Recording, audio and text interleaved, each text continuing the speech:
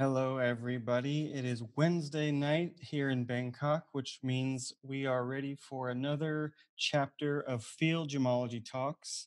Uh, we're going to have a adventurous one here tonight. We're going to be speaking with Peter Lyckberg about pegmatites and adventures and uh, all kinds of good stuff.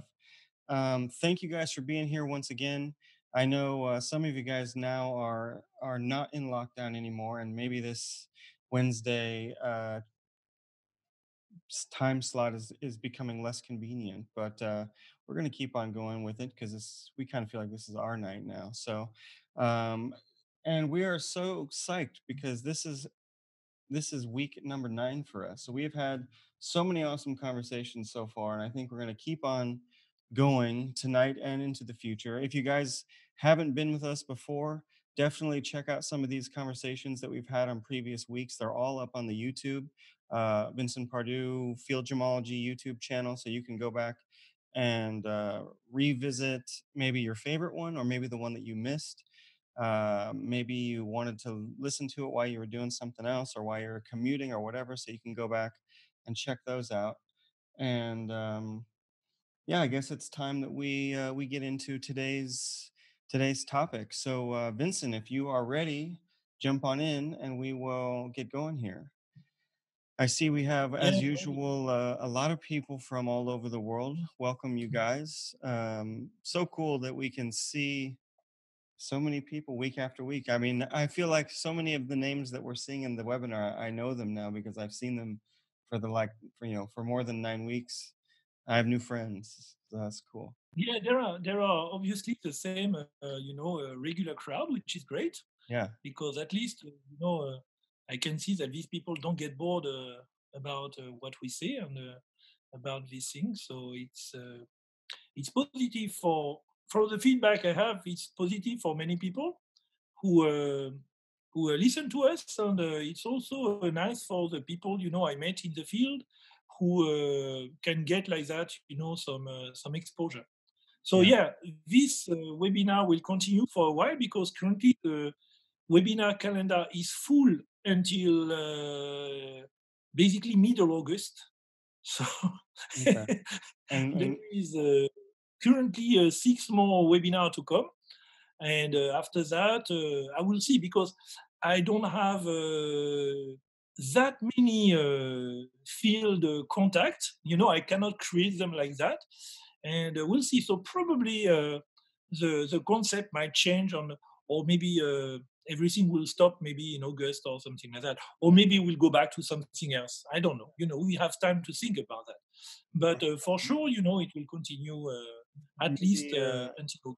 Maybe a Yeah. couple more people will become interested. You know, some of the, the people that we've asked, maybe a few more will say yes, and we'll be able to extend it on for a few more weeks. Well, yeah, and already, you know, I get some feedback from uh, some of the people, you know, attending the talk, asking me, uh, can I, and uh, you know, I took some of this feedback in uh, consideration, especially from a young geologist, and uh, and I was happy to uh, to convince some of my uh, uh, geologist friend to uh, come and uh, to uh, to speak about that. And actually, tonight, uh, you know, one of these uh, consequence is that uh, Peter is here. So Peter Lyckberg will uh, speak to uh, to us tonight. Uh, oh, actually, we will discuss with him about uh, one uh, subject he's very very passionate about, which is uh, pegmatite. And so, what's your uh, what's your history with Peter? How do you guys know each other?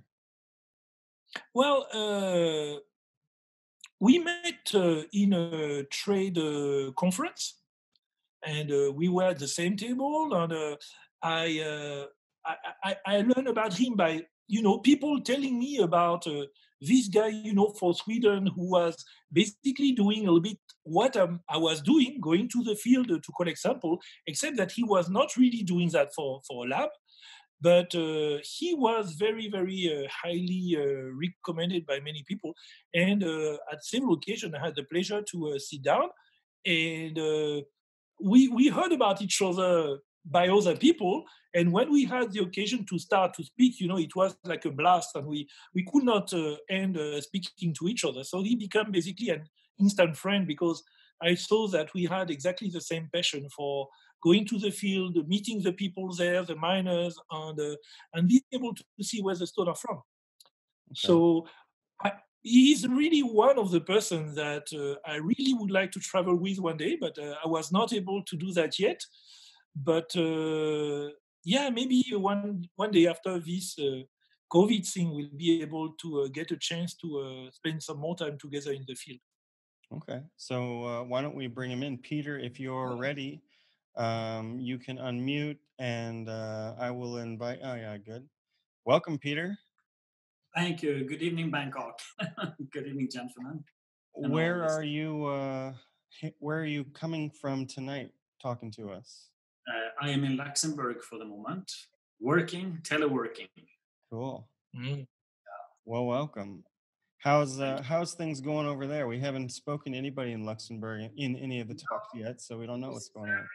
Calm now, so uh, we have very few cases. Border open to to Germany a few weeks ago uh, over Easter, I had hoped to go back to Sweden, but that was the borders closed between Denmark and Sweden, and then border to Germany closed, so that was not possible. So I spent, I was never ever during such a long period at home without going to a mine, or I do a lot of traveling in my work also. So uh, it's fantastic to be just home with family for so long period. Yeah. I kind of You're feeling kind of the same way, though, but maybe not so happy about oh, it. Well, you know, I, uh, regarding confinement, last year I had sciatica for two months. I was blocked in my bed. I could not even go to toilet alone. So I have some, you know, pre pre COVID nineteen experience about confinement, and then also I broke an arm a few years before uh, while going in the field, and um, it took me also about three months, or three four uh, no, four months before to I broke my arm in April, May, June, July, August, September. Five months before to go to the field again. So five months before to, yeah, you know, we are February, March, no, March, April, May, June, Guys July. You can August. In August, in August, it will it will be uh, at least uh, for the past uh, 30 years either working as a tour leader or working as a field gemologist, I don't think I have spent more than five months without going somewhere for the past 30 years, except with a broken arm. Yeah. Yeah. So, Peter, um, I guess we'll start out with the most simple question Who are you for our audience? You know, what's your background and uh, how did you? I, I know you have a unusual passion and specialty. So maybe tell us a little bit about how you got to that point in your life.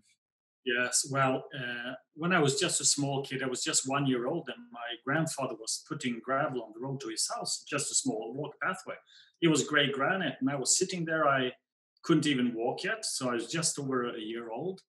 And I just saw this beautiful few piece of white quartz, red uh, microcline feldspar, and a few small um, uh, flakes of muscovite like you, like your nail. And i picked them and somebody you know of course you don't remember this but somebody gave me a small matchbox. So i had this matchbox for many many years after with my collection. And then uh, when i was two years old i collected pumice that came floating on the ocean and uh, by the time I was eight, I was collecting a bit, but I was interested in everything in nature, volcanoes, of course, uh, uh, you know, different astronomy and so on, and history. And by the time I was eight, I was pretty much into geology, mineralogy, and I had a collection. Of course, when you're a child, you need to gather samples. And I was scouting the whole Swedish west coast by asking every farmer where there was some old quarries or mines. And so I really started in the field. And by the time I was 10, I'd been to quite a lot of mines in Sweden and Norway.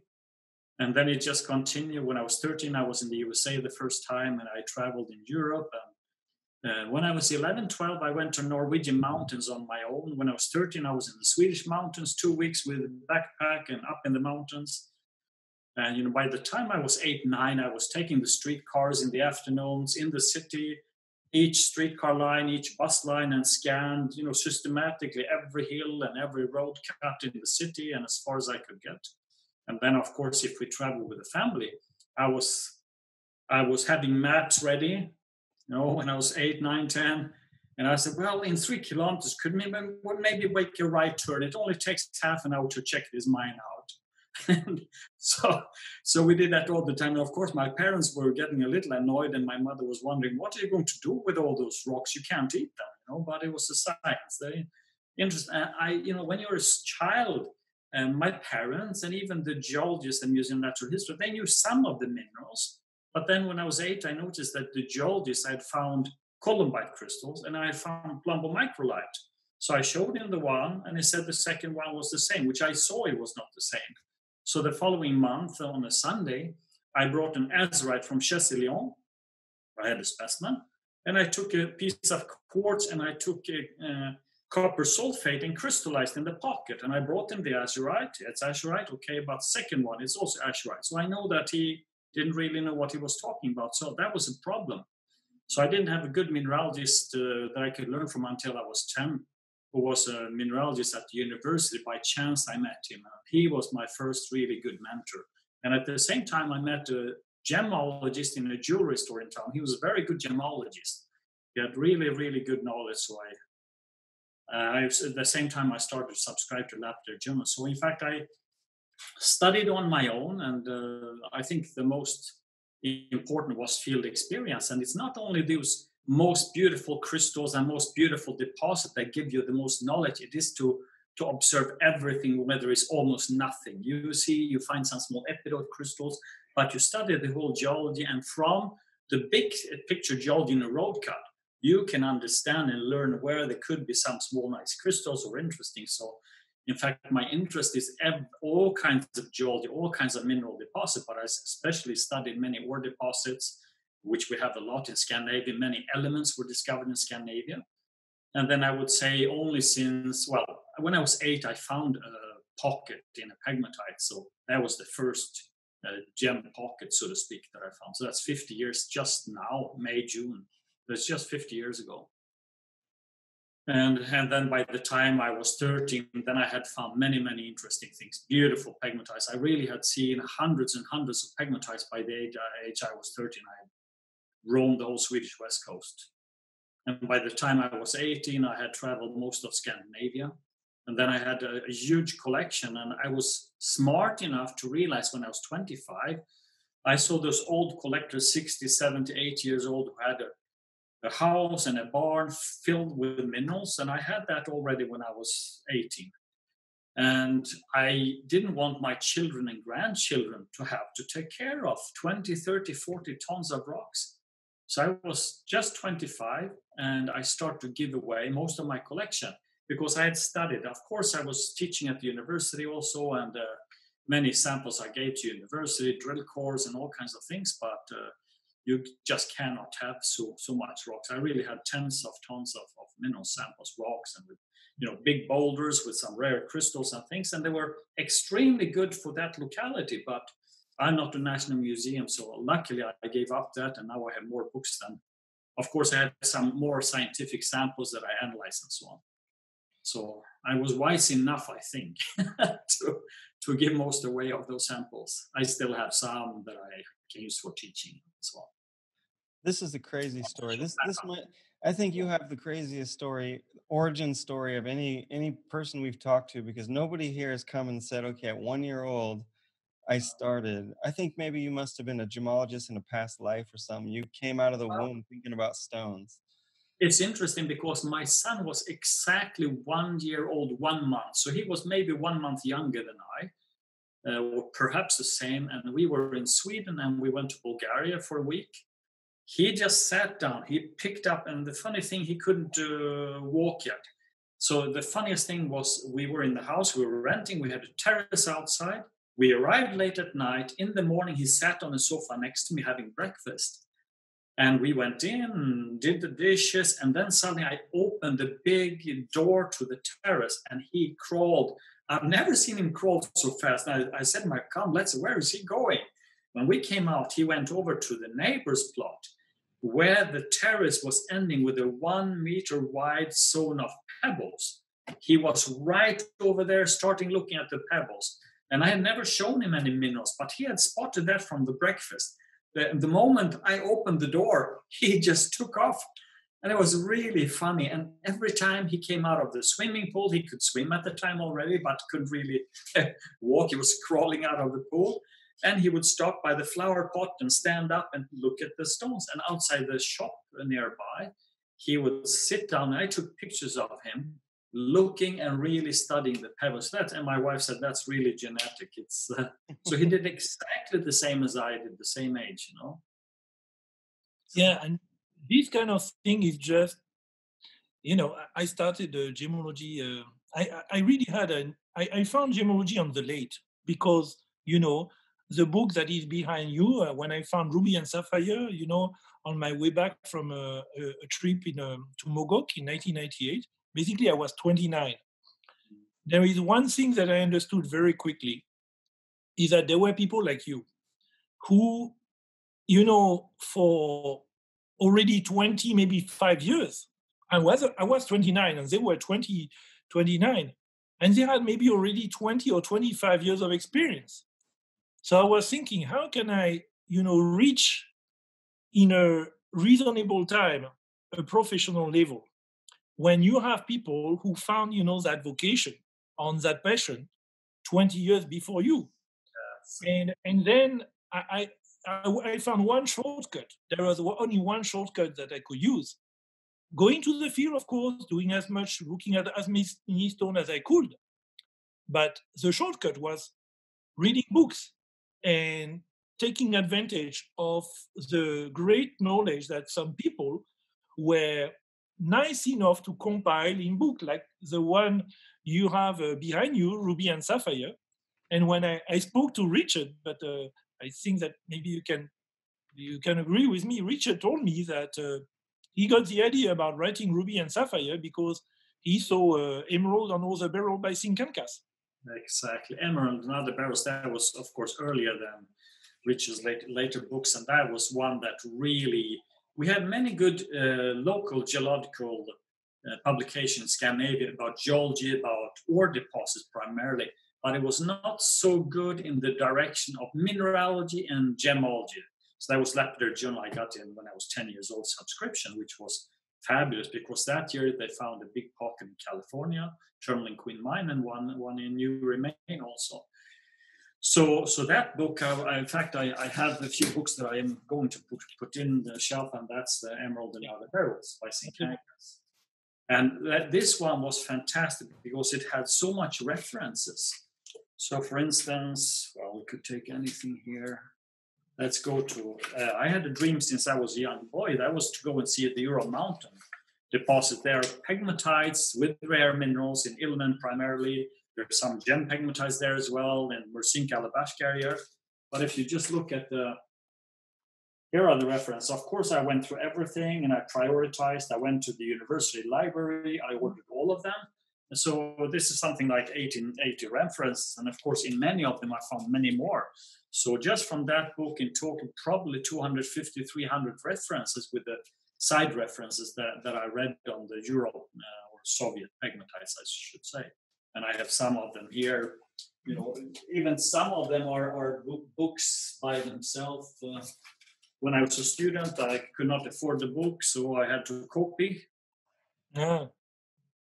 So, Dragoceni Cvetne Kamne, so the gemstones by Fersman 1925. So I copied everything, and uh, of course now I have quite a lot of Fersman that I could manage to get later, even in France, Les Pegmatites, in French. Yeah. Uh, but but for me also it was if I had had the library I have now as a child when I was eight years old I would know so much more. Because you know kids are very receptive. I would know every word by heart in here. Of course I know some of it you know that's for sure but still I, I wish all children so that's good now when Gems and Gemology and other publications are uh, online so people have a chance. If you have the interest you can find it. And in that uh, you can look at mineralogy because i really till i was 10 years old i lacked the literature. I, I read everything i could get my hold of but, but it was not that much. And i got full access to university geological library. The librarian was so nice she let me stay there after closing time six o'clock. So i could stay in the university library at 9 10 o'clock the geological library alone going through all the literature, reading the maps, just make sure to close the door. And that was great. It was just that they didn't have too much mineralogy. I would, from I was 10 till I was 13, I was there many nights a week, you know. I think that the greatest gift my parents uh, gave me when I was a kid, at uh, nine years old, uh, I was given an encyclopedia in 21 volume called Tout l'univers in French. Mm-hmm. It was there was a lot of illustration, so it was okay for kids. But there was all the time a double page about one subject: a subject about history, a subject about uh, animals, a subject about geography, a subject about many different topics, and 21 volume. Every night, I was uh, before to go to sleep. You know, when I was going to sleep, parents say goodbye and things like that. Then I was waking up and I was putting, you know, under my behind my my door, I was putting some uh, uh, clothes in order for my parents not to see the light from my uh, uh, you know, from my uh, from my light. Yeah. And I was reading for about half an hour to one hour since the age of nine or ten. And, and this encyclopedia gave me basically a, a, huge interest for many things, from history to geography to space to. It was mainly about science, uh, human science, and things like that. Uh, and, and, it gave me a wide a, a wide interest for, for the world. Uh, I think that probably the best gift you can give to a kid is uh, the desire and the pleasure to read.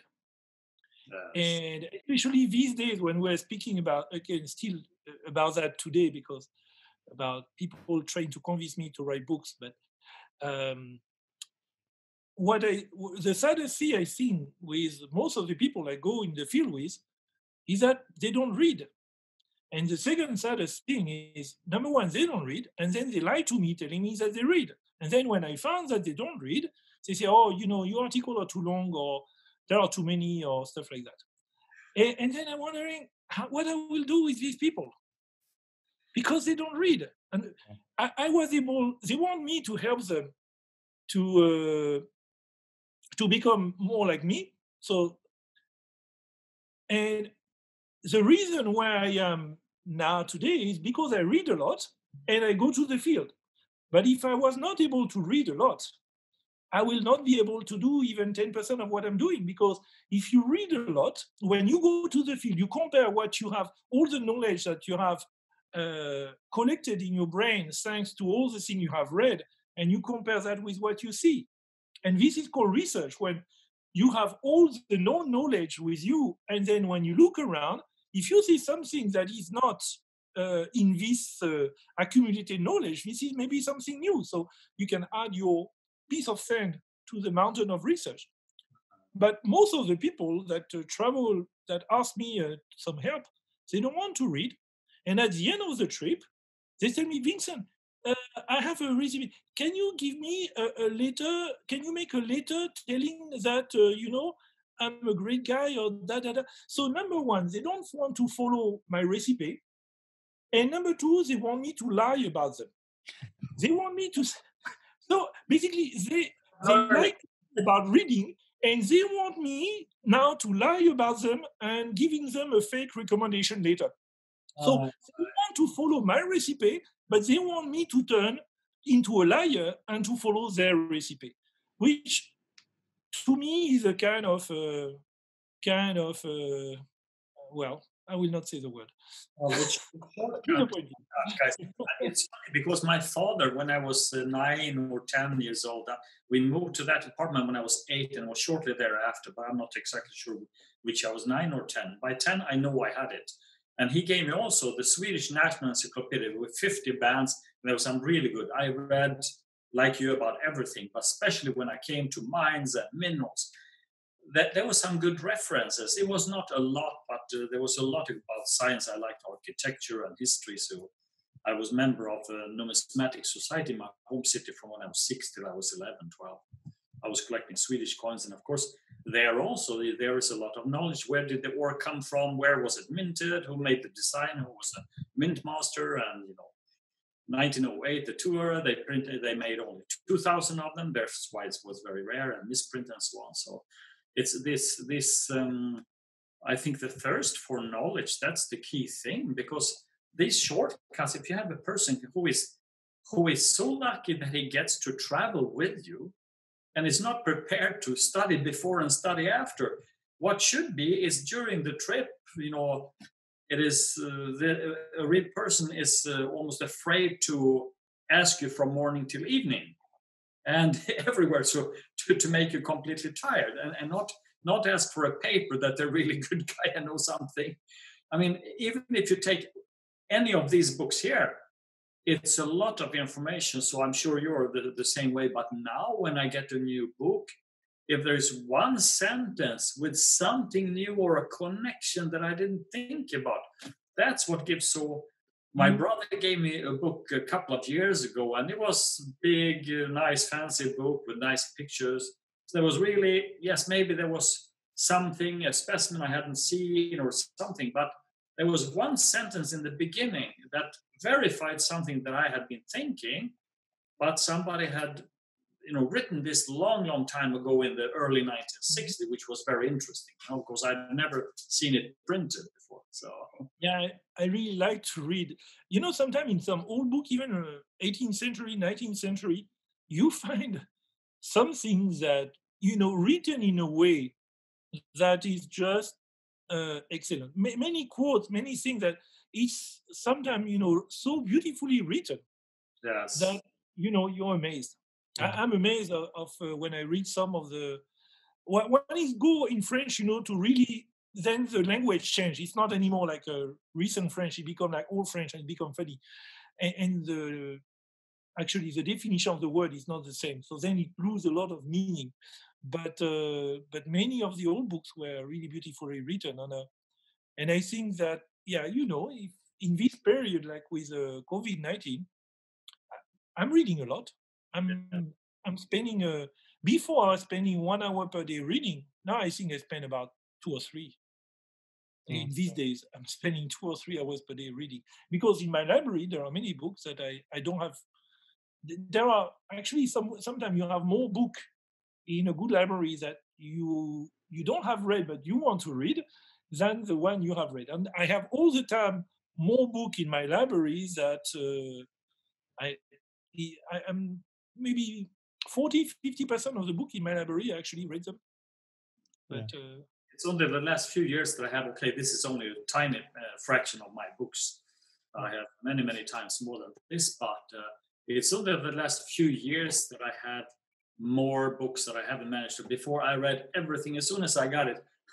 I typically read through the whole thing Saturday morning. If you read Friday night, I read Friday night, I read all Saturday and then I would re I would put notes, just you know, sheets of paper where I have to go back to and take notes, and I would put back.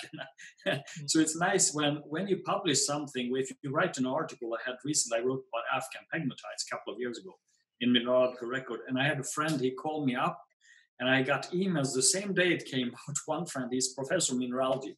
He called me up. He said, "Oh my God, this is the best thing I've read in 20 years." but it was so funny because he opened it. He didn't even get into his house when, when he opened it. He started reading. He just said, wait, wait, to his wife. He went and he read it from beginning till end. It was, it was so nice. If you give one person such a such an enthusiasm to read about it, it's worth the whole thing to write it, you know, because uh, I didn't have planned to write it at all. Then I was asked if I could write it. Somebody knew that I had studied for a long time. You know, I studied many, many different areas because I'm I'm just gathering information because I'm curious, so I want to find. So I have notes and I take notes, and you know, every day I'm I'm in my car. I, I have sheets like this, and some friend is calling me, so it's it's online. But then after I, I take the note right away about different finds, and so I, I have boxes and boxes of, of, notes, and then I, of course I put it all together. And, uh, hmm. But Afghan Penguin, this was just a small fraction of all the information because I didn't have time to write a, really an article at that time. So yeah, Justin, when when you when you read a book and you have the feeling that this is the best thing you have read for 20 years, for me, this is you know there are a few things that make me so happy than that, as hmm. happy than that. That you read something and you feel that, my God, you know, that's you know, buying that book was the best thing I did in the past three weeks or the past one month or maybe the past year because you know it's just great. I think it's an especially good feeling because not not that many books give you that feeling, you know, or, or even articles. I know for me, one one came out uh, about a year and a half ago. Uh, Gems in the Early Modern World, I think it was called, and I've gone back to that one so many times. It's new, it's articles, you know, a, co- a compilation of articles, but like it's so good and the whole thing is so easy to read. It's written by a bunch of different people. And when I read just the one article I was looking for, I I had that feeling that you're describing like so many doorways opened in my head. You know, I, I just got and then, you know, and then of course you go to the bibliography and you're like, wow, I missed so many things. But I wanted to go back for a second. I thought it was really interesting how you were speaking about Vincent when you were a kid and staying awake in the you know at night to uh, to read for an extra two or hours. I used to do the exact same thing. I had this stick by my bed because I was at the top of the stairs, and I had a stick by my bed that I could shut the light off with. So if I heard my parents coming up, the stairs were creaking, you know, because I was doing the same thing. You know, I had my book and I was under the covers reading with the light with the with the little lamp, and then when I'd hear them come, I would take the stick and turn the light off and pretend I was asleep. So you know, just to get an extra couple of hours of reading. same. But I was putting basically a, a, blanket under the door because my, my parents' room were opposite of mine, and I was afraid that they could see the light, you know, from Yeah, under the door. But I was covering the light, and uh, but I was putting the thing in. yeah. My parents knew that I was reading. Actually, they told me years later. So all my uh, precautions were bullshit. I think But they were happy that you know I was reading. And of course, in the morning I was a little bit sleepy and things like that. But uh, my father was waking me up, and uh, sometime one day my teacher was uh, wondering because she was asking, "Is this guy uh, sleeping enough during the night? Because he seems that he's a little bit, you know." Uh, in his world, and uh, he forgets things. And my father told her, "Don't worry, he will not forget to to come to school because I'm the one who bring him." but actually, I was sleepy because sometimes I was reading late, which Yeah. is uh, which my parents were feeling that actually, you know, if it's the worst thing that I do, it's quite okay. And Absolutely. So we're getting on kind of a wild tangent here, even before we've begun. So let's let's bring it back a little bit, Peter. So we're we're talking about pegmatites tonight. Um, can you just give us a brief introduction? You know, for anyone who doesn't know, what what are we speaking about? What when we say pegmatites, what do we mean in the gem Yes. world or in the I will do that very, very briefly. So, so when you have collision, for instance, India collided with Asia, and you have a mountain range, or the, like the Alps or the Rocky Mountains, then usually you have huge magma chambers that crystallize underground. If they reach the surface, you have volcanic activity. But if it crystallizes one to a few kilometers down, down to seven, eight, ten kilometers, and from this granitic style igneous in igneous rock, within the granite or in fissures leading out, you can have very late stage solutions, which is richer in, in, in water and richer in rare uh, element like the smallest and the biggest ones that don't fit in normal mineral structure. And they crystallize in veins typically, but can be all different shapes depending on where it crystallizes.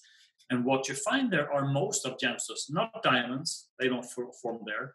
And typically not rubies really, but sapphires do. And most, you know, everybody knows about the tourmaline, topaz, all the varieties of beryls, even uh, emeralds. And then you have a lot of rare minerals also.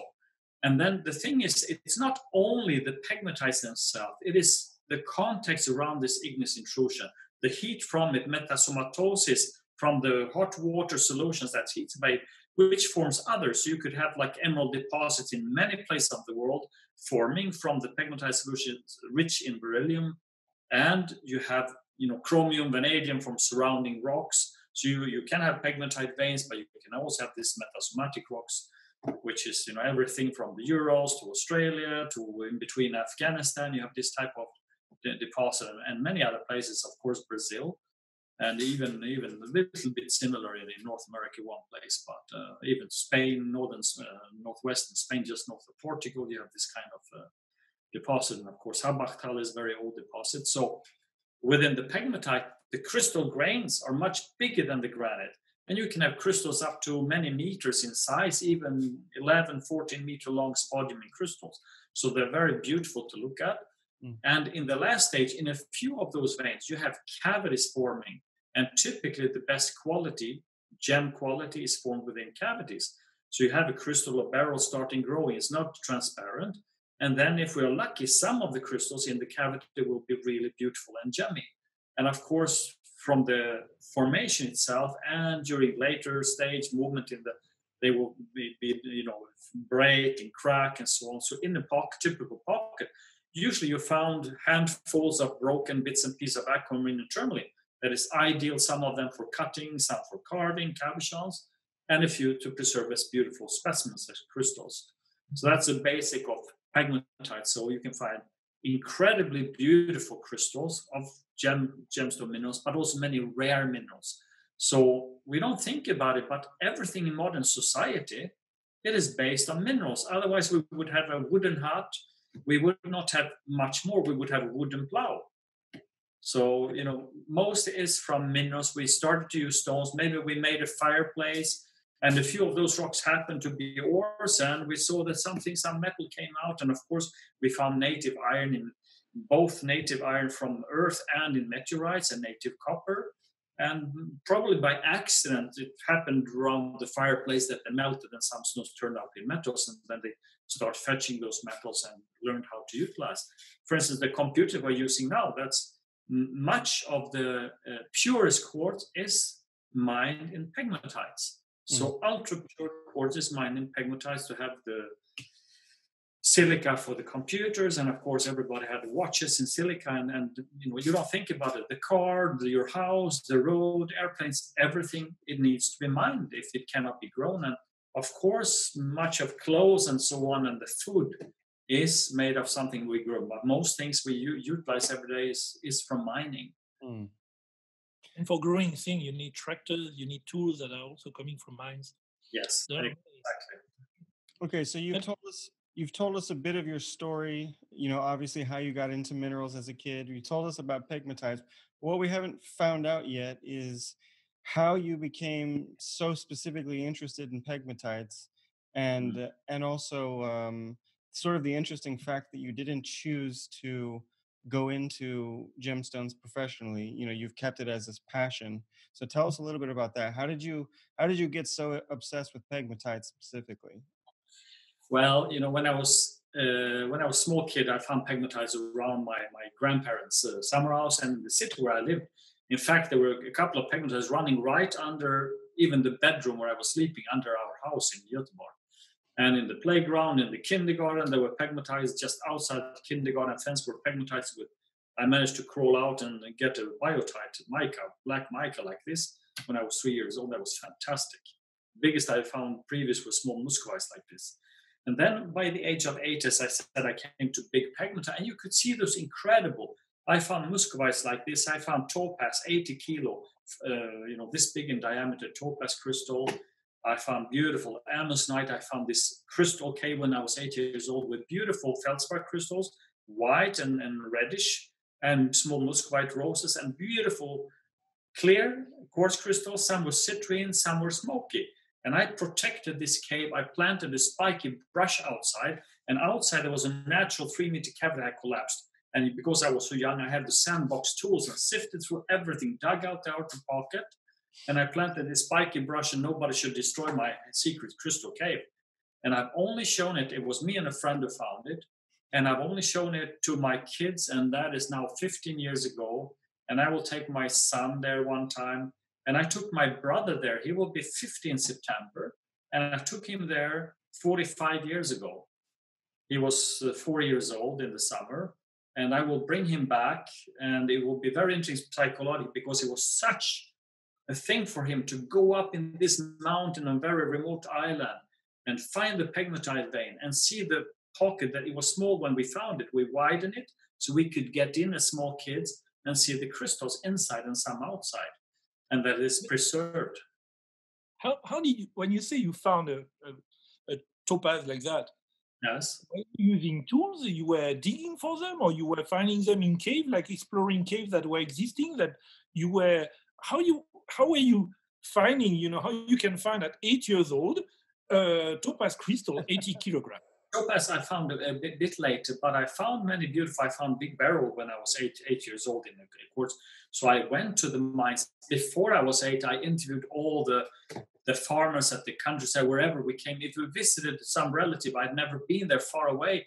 I would immediately speak with the farmers, the people around, ask them, is there any quarry around here or old mine? And just, you know, so this this was the method for me. I didn't have, so they came um, card center uh, shop with maps to my home city when I was probably 11 or something, which was even better than university because there were topographical maps all over Sweden, economical maps. After school, I went there and I went through every, I could only afford to buy a few of them because they were pretty expensive. But I located every mountain that had a name that you could understand there were minerals or crystals or mines there. Sometimes mines were marked. And I took notes from every topographical map available all over Sweden. So, for instance, near my home city, I found Glass Mountain, three name, three hills with the name Glass Mountain. And further north, crystals are named At. I found a lake, which was Atten, several hills, mountains, which were named At. It means that there are crystals there. So we have in old place names, and I, you know, many place names has mine also or quarries were marked. So, so that topaz I, I found in a book about quartz feldspar and mica. So in principle, it was about pegmatites and it didn't mention anything about uh, the mineralogy of this place. It was just mentioned there had been found topaz, but not much more. So I went there. It was thick moss on the on the dumps. The water filled. Uh, there were two big pits water filled, and this was really in the forest. And when I opened this moss, I remember, still remember, that it was like for me like coming to Brazil.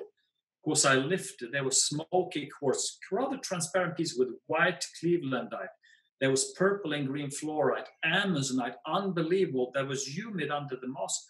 There was even one piece like this bicolor, big amazonite. I never brought that because it was so beautiful. I thought it should stay there for people to see. I found lepidolite like this. I found topaz like this immediately. So you, you scratch the moss? Oh, you, I, you, I, I, I, there was some old peat, and then you you clean the peat and. I lifted the moss and I dug under. I didn't want to destroy because it looks so beautiful. You know, just lift this thick moss and I lifted it up and I dug under and I, I found plenty of nice things in this place. But sadly, just three, four years later, somebody else found out. And the locals were really angry because there came a big Volkswagen bus from Holland and they found so much Amazonite that they loaded it and went back to Holland and came back just to make money on it. So the locals didn't want anyone there. I was allowed to come, but they just did it for making money. So I always thought it was sad the one thing is if they would ask the landowner to pump out the mine, to clean up the mine and mine something and study the pegmatite. That's another thing, but just to steal everything from the dump, I think it's much more valuable that the dump remains there. Families can bring their kids and everyone can find a few pieces. You don't need to have 50 kilo Amazonite at home. You know, it's no use. You can have a few pieces with different variety, different minerals. But I, I really always dislike this hoarding mentality. And I thought there were too many collectors in Scandinavia had this, or they would collect everything they could carry with them. I think that's not really the way to do it. But anyway, that's how I started. And I, I just from curiosity and going everywhere, I scanned every hill if I saw some veins or I saw on the map. So one place uh, I looked for during several years that was named Glass Mountain. I went there in the forest, was nothing, nothing, nothing. And then it was just one little section of rock, a couple of meters that were exposed. There was also moss. And I saw a fissure in where there were a couple of really gemmy, completely beautiful smoky quartz crystal, light smoky, I should say, because very beautiful. And I, I, I couldn't get in because it was very narrow, the fissure. And I had a long tool, iron bar, pry bar, and I could just try to get in as far. I could just manage to get two of those beautiful crystals out. And I showed it to one friend who is a good friend, and he was a gem cutter. He's in his uh, mid 80s today. And when he saw the quality, he said, No, no, this is not Swedish. This is from Brazil. He could not believe, No, no, no. And I said, No, no, I found it in a pegmatite uh, on the Swedish coast. No, impossible. So, you know, it, but I was looking for several years to find this, and I, you know, I'm a little crazy because I don't give up. If I think so, I'm going. So when I was a child, I wanted to go to the Urals, and I started '86. I went to St. Petersburg. I spoke with Russian geologists. And '88, I got better contacts. And they said, not even we can go to Europe, even from Fersman Museum in Moscow. So, but I, I was the first Westerner who managed to see the Ural gem pegmatites and the emerald deposits in 1992, May, June. So, you know, if I want to go to a place, I am, I don't give up the idea. Even if it would take me 50 years, I'm still going, you know. I guess that, you know, to go, to be the first uh, guy to go to the Ural, it took you quite a while, you know, in the, uh, speaking about logistics, because I guess that you know going to the Ural was not you know getting the um, trust of people to welcome you in their mind. It's something that sometimes you know can take years, yes. and also you know just exploring around your place because there are often you know young, young uh, gemologists like gemologists who don't have you know somebody to finance them who's told me you know how can I do what I can do to start? And I told them usually, well, just look around your place in your country. Maybe there is something interesting. Try to find everything in the literature about that, and then go on site. And if you find something uh, new, basically, you know, you are doing research. You don't have to go on the other side of the planet to start doing research. You can collect everything that was published on your area and you start locally, and then you will get a method. Because when you were doing that, for example, you were speaking about, you know, exploring this place in uh, in Sweden. How were you doing with logistic? Were you doing camping?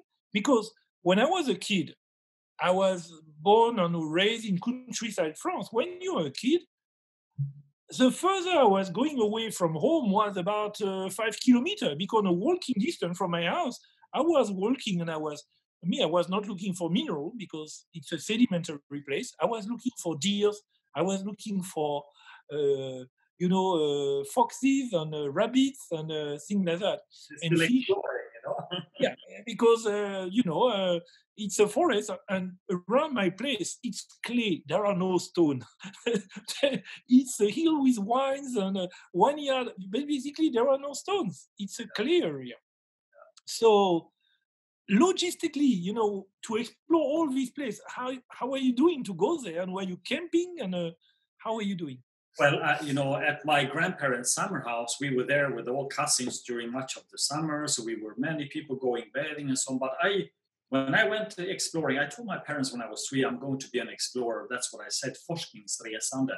So it means research traveler in Swedish. I saw that that's what I'm going to be when I, I said I was three when I told them, and they told me this many many times. But uh, I what I did, uh, I went out in the morning, and I was needed to be back just after sunset in principle. And here I was on an island which was 15 kilometers long, as I mentioned about. But I walked just like you, five, six kilometers. I found small fissures with calcite, small pyrite crystals, small fishes with feldspar crystals. You know, I I found everything there. I found some small beryls, garnets, tourmalines, and my grandfather he owned a couple of small islands. He would go there sometimes for fishing. We went out. Sometimes he would help. help boat and, uh, yeah, farmer to bring bring some sheep. So I know okay on this island I have three hours now. I would always go with my grandfather. 4:30 in the morning go out fishing, and then he was helping a farmer to let some uh, animals graze on his island. No problem, he would bring the sheep or something in the boat. And I had a few hours, and then I needed to be back. And the island was a few kilometers long. I would scout every one island. I found really nice purplish red garnet, but there was only one big one vein on the whole island. You know, but I scanned every square decimeter. You need to look very carefully to find it. I was in a small cliff outcrop when I was a kid. But that's it's interesting you say because I can show you just one thing. Here is a small book, Cronstedt from a Swedish chemist from 1782 or something. I, it's long ago. No, 81 it is. So it is mineralogy and uh, well, it's about different. So he starts with diamonds and so on. And here I remember he mentions that in France, in a place, there's supposed to be sapphires. And he writes, this is probably rumors because people make stories, but this is 1781. And another. No, there are. Actually, yeah. uh, on a Roman uh, Roman jewelry and things like that, uh, many most of the sapphire, from what I saw in a recent research article, were coming from central France because the Celts were mining sapphire in the early. Yes, yes. gold. They were, I think, probably searching for gold, and searching for gold, they found sapphires. Yeah. So, you know. like many places around the world, people find gemstone like sapphire because they are actually searching for gold or some uh, metals. And uh, actually, this is something about gemstone mining that is very often uh, interesting. Is that, and especially about pegmatite, I think, you know how difficult is it is to plan to find gemstones actually valuable, which is eh, sometimes you know you mine for I see miners you know mining for one year, two years, they don't get anything good. No. And sometimes at the end they get lucky and they find a pocket. Like people mining for tanzanite, people mining for tsavorite, they can spend a lot of time mining and pegmatite. I think it's about exactly the same. It's super difficult to be able to uh, to to plan to find something valuable. So usually you need basically to, if you can, uh, you know, have a mine, a mining plan, and you are mining something that makes some income regularly, like daily income, and from time to time, you know, uh, uh, as a side uh, product, you have a gemstones that are coming that make sense for many people. So I think that this is why many gemstone deposits are found like gold miners because gold miner actually when you're going along the river you know that if you are doing the right thing you might be able to find nearly every day a little bit of gold that you will be able to sell but uh, to find a, a gemstone that uh, you will be able to sell it's uh, basically uh, you are taking luck as a business plan but actually usually it's not very wise to to state uh, that okay my luck will be my business plan no, no. You know, this what when somebody hears that, you know, I'm interested in do, do a lot of research in geology, mineralogy, and soon, I mean, for me, gemology, that's just you know the top of the Cheops pyramid. It's really geology, mineralogy is a huge area, and gemology by itself, it's an enormous area. If you look at one species, corundum, as you see, you know, Richard Richard's book here, here it is here.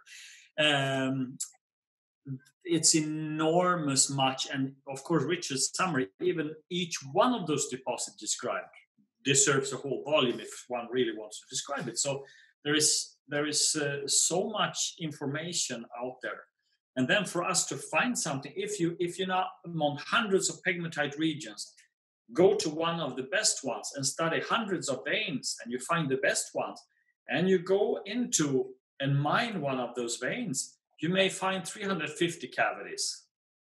30 of them have something which is better quality, beryl or topaz, for instance. Mm. And a few of them have something really good. So, one mine in the Urals that I followed from the mining 30 meter level to the surface, uh, there were 338 pockets. And I would say there were four pockets with something really, really beautiful that should pay for the mining. And in general, most um, gem mines, hard rock mining, I would say yields one to two percent gem quality. In the river, it's all tumbled and broken, so you have much higher percent of gem quality. And uh, in general, I tell people that even if you're mining big scale, maybe for industrial minerals, it's about every 10 years that you can expect to find something of gem quality or mineral specimen quality. That's the average of many, many places I've been to. Yeah, well, that's the point. We people say, "Oh, we had an exceptional find, or there is an exceptional gemstone. Well, exceptional gemstone are not commodities that you can plan to to, to mine every week. No. Exceptional gemstone, it's exceptional. What does it mean? It means that you cannot make a business plan on something exceptional because it's an exception. There is a rule, you will find nothing valuable, and the exception is, you know, this exceptional gemstone that is actually valuable. So when you know, people are mining in many places. They tell me, Vincent, how can I find, you know, a, a pocket of, uh, you know, good rubies or things like that? So then I look at them and I say, well, well, you know, if I had the answer, I will not be doing what I'm doing. I will be uh, probably the richest guy in the world. If you, if I could find a way you know, to say, oh, you dig here for five meter and you will find a bucket of exceptional gemstone, I think that I will not be exactly doing what I'm doing now. Some types of pegmatites, in fact, you can see from the structure primarily. You don't need to see the gemstone, but you can see from the structure. We did it in the Urals, I've done it in Pakistan, I've done it in many places. So if you have many, many veins and you look at the structure, you can see on the structure where it's really, really well crystallized. So in the Urals, we put 13 different points. And from the drill cores, we looked at the drill cores. Okay, here is five points, seven points, eight points, 13 points. So we made a contour of points, which zones of the pegmatite which would be the best. And there were two areas further away from the center. There was looked to barren. So the mining company made a shaft to 30 meter, cross uh, tunnel at 20 meter, and it went about 60 meter wide. But I was only in the 50 meter core zone where we said that here would be good. But just for testing, there were no pockets at all further out.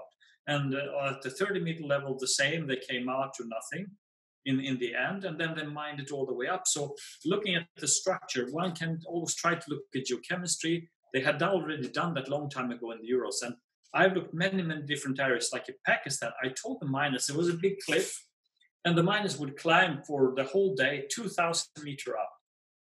And they could mine the three months. And I told them, why are you mining up there? Why don't you mine? I could just look at the cliff, huge cliff, full of pegmatites. And you could see inundations where there had been pockets. You couldn't see the pockets anymore, but just from the structure, excellent with huge number of pockets with aquamarine, some black tourmaline, but the aquamarine is and I said, you should mine here. Go underground, make tunnels, you can mine year round. And they did it, and they found the two biggest and best aquamarine specimens ever in Pakistan, exactly in this cliff. So they've been mining there now for 12, 13 years. I don't live in Pakistan. If I lived there, I would be mining there. But I gave them this free advice, you know. So I like to to try to help people where I go, and they always appreciate that, of course, you know. So, but it's it's nice. Uh, to have this as a hobby. I choose to work with something else. And then during my holidays, I go and study the post. And then the miners, they send me almost every day. I got pictures from miners. So this is what the structure looks like in the vein. We found a pocket. The only thing I want from them, I never charge a single penny for helping them. I just want when you find something or when you see some interesting structure, you take pictures. And nowadays that's not a problem. So to Pakistan, I gave many cameras, even video cameras in the you know 80s and 90s because they didn't have uh, cameras. So i received a few images from these cameras and the new camera gave probably photographed their families more than the mines it was very hard to get them photograph the mines but uh, even from madagascar way back there was late 70s i would get a letter with one or two pictures because it was expensive for somebody in madagascar to make pictures. And i would photograph the pegmatite and look at this. Does this look good so very cute. And maybe I have some of those letters with pictures still, you know. So cool. I really agree with you on something. Is uh, you know when people ask me about a deposit, you know, yeah. after visiting for the past twenty years many deposits, I start to get. I, I, don't. I didn't study geology, you know, in my um, in my uh, when I was in university, I was studying uh, analytical chemistry, basically trace element chemistry, spectroscopy, and things like that. So my background is more about working in a lab but actually I like to go to the field.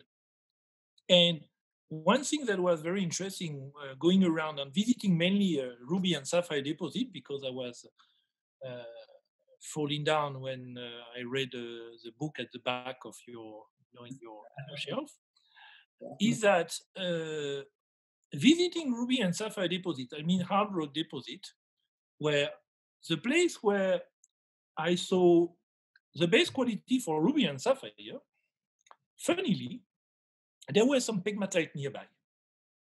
So if you go to Mogok, there are two granitic intrusion, and around this granitic intrusion, you had some pegmatite. And, you know, at a relatively close distance from uh, this place, you have some place with rubies and sapphire, and sometimes with, you know, very fine gem quality. If you go to Vietnam in Lo Quien, Yente, you find also some pegmatite with some tourmaline in uh, not very far from the place where you have the best uh, rubies and spinel.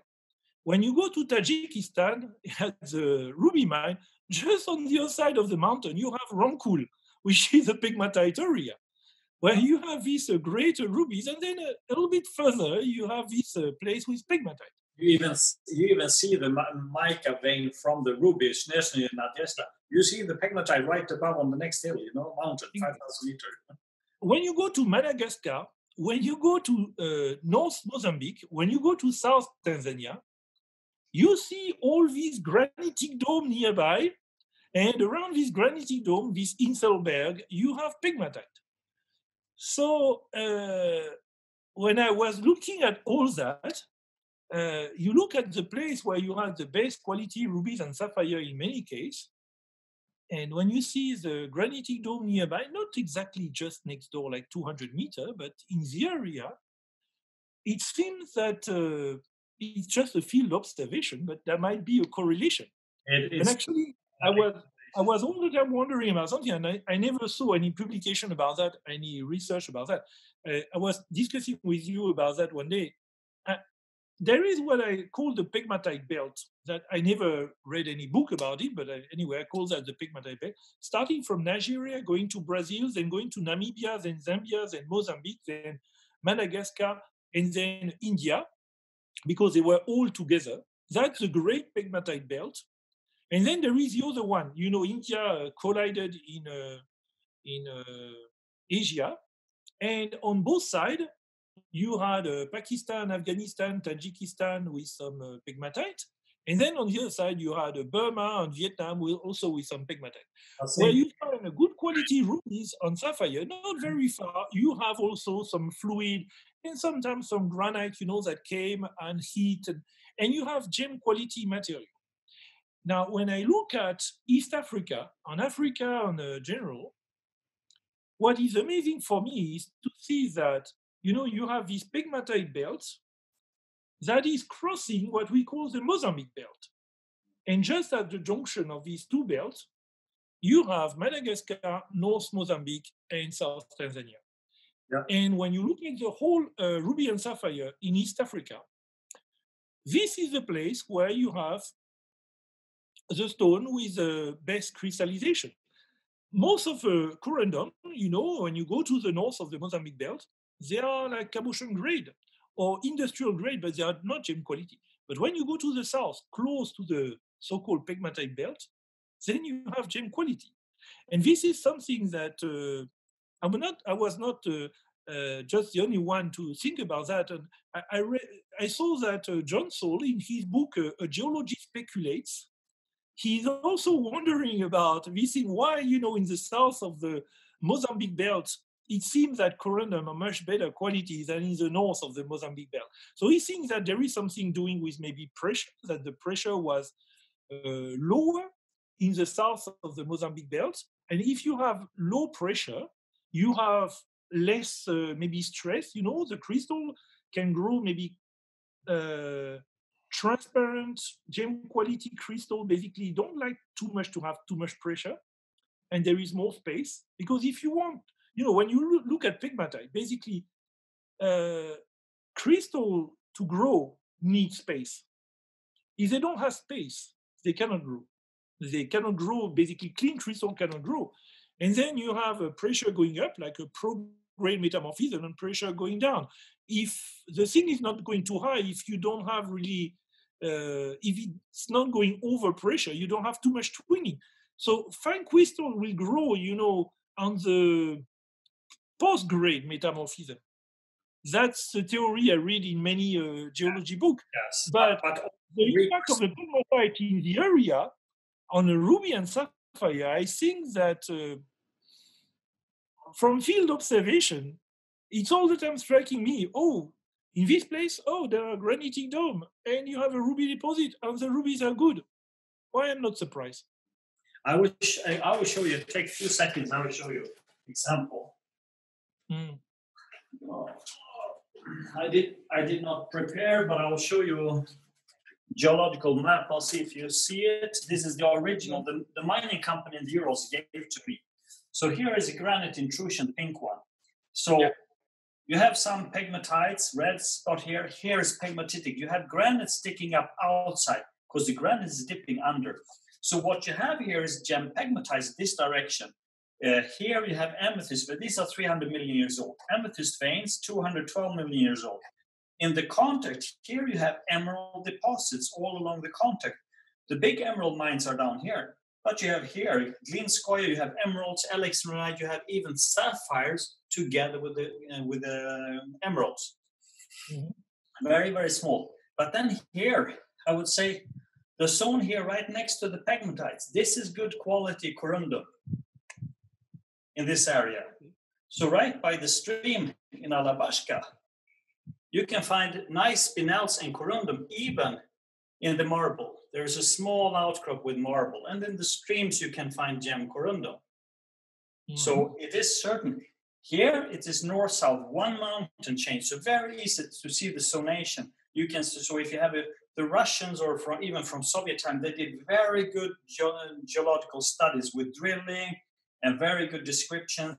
Of course, they didn't always describe everything that we see today, but they made very very detailed studies. And Kornilov log down here is one big uh, cor- coron deposit. So it's just to confirm what you're saying. And of course, I've studied, you know, many places, like you said, Mogok. There are many places where you do have this, uh, and I see it as uh, the right, not too high pressure, but the right conditions. And many times it's a recrystallization. Mm-hmm. So often when you have a, a first crystallization, you get rough, big crystals, not so high quality. And most places are like that. But when you have a recrystallization, temperature a little lower and you get usually much higher quality crystals. So if you look in a region of metamorphic rock, you need to find, and that area of recrystallization, it could be just a few decimeters. You may have an area which is hundreds of meters or kilometers, and it could be very, very narrow band where exactly the temperature was correct, was right and not too big disturbances during the formation, where you have the really, really high quality. And of course, it's not always the miners. They notice, okay, here we found one quality one here, but it's not always they have this, and it's not so easy to see because it's three dimensional. So under the marbles, you have granites going, you have pegmatite dikes, even Kuh-i-Lal spinel deposit. There, when I visited, I could see uh, some pegmatites running through the whole deposit. Mhm. So I have not seen this I described, I know there was secondary higher quality there, you know. this is a discussion that we had uh, when uh, I took to uh, Mogok uh, a few years ago. I took uh, Gaston Giuliani and uh, Aaron Palke. Aaron Palke now is at GIA. He was at GIA at the beginning, at, at this time already. He was one of my colleagues. And I took them there to uh, visit uh, Dattaw, which, which is a, a ruby mine on, uh, on the eastern side of Mogok, not very far from one of these granitic intrusions. There is a granitic intrusion just at the back of Dattaw. And Dattaw is a place where I was, it's, all, it's probably the most famous mine in Mogok, ruby mine in Mogok, because this is the place where the stone has the better crystal. The, the, the ruby crystal are super transparent, highly transparent. Sometimes they don't have the right color, they are slightly pink. But when they get, for example, 10 or 20 carat, you know, a, a, a stone that is pinkish at one carat, at 20 carat, when you cut, you know, Justin, you know that when you cut a, a large stone, you will get a perfect red stone, bright red stone 20 carat because, uh, and the quality of the crystallization is incredible, but everything is well crystallized. The apatite is well crystallized. The marble is actually it's not marble. You are mining them in calcite. So everything, not just the ruby are well crystallized, but everything around is well crystallized. So we were wondering uh, why, you know, in, in some place in Mogok, you have a kind of sugary uh, marble that is not very transparent, and most of the time the rubies are not very transparent either. But in some other place, everything is transparent. You take a torchlight, you put it on the marble, you can see 20 centimeter inside the marble with a torchlight, and this is Dattaw. So, you know, going to a visit place in Mogok and then in Vietnam, and you know, all all, all around, I I was not too much in uh, pegmatite, and I was on ruby and sapphire, but I started to get a very uh, much uh, stronger interest in pegmatite because I see that uh, most of the time, one of the maybe gem quality factor is the presence of uh, intrusion. Uh, pegmatite. Most people say that rubies are metamorphic, But the more I'm studying, um, the more I'm visiting a Ruby mine, the more I'm uh, thinking that, uh, well, there is a, at least a metasomatic kind of uh, probably a compound, or at least, uh, you know, something that is, you know, pure metamorphism doesn't explain the quality factor. No, because you know, as I said, looking at the pegmatites, I started with euros. I've looked at many, many, many places. We just look at the structure. Same with metamorphic marble deposit. You look at the structure. When you can see the structure, here is getting really good. And you can look at, you don't need to see the ruby, you look at the other minerals, like you say, the calca. This is well crystallized. If there's mica, gemmy mica, you can see it on the other minerals what the conditions were. So you understand that from looking. Now, sometimes pegmatites is not any transparent at all. It's just feldspar, but it's the shape of the feldspar, the shape of the, the mica, the size, grain size. So it's all this. So I would say a marble deposit is in a way easier. But of course, you have mountains like Mogok and Detali. So you need to look very, very much and try to understand where the intrusions are.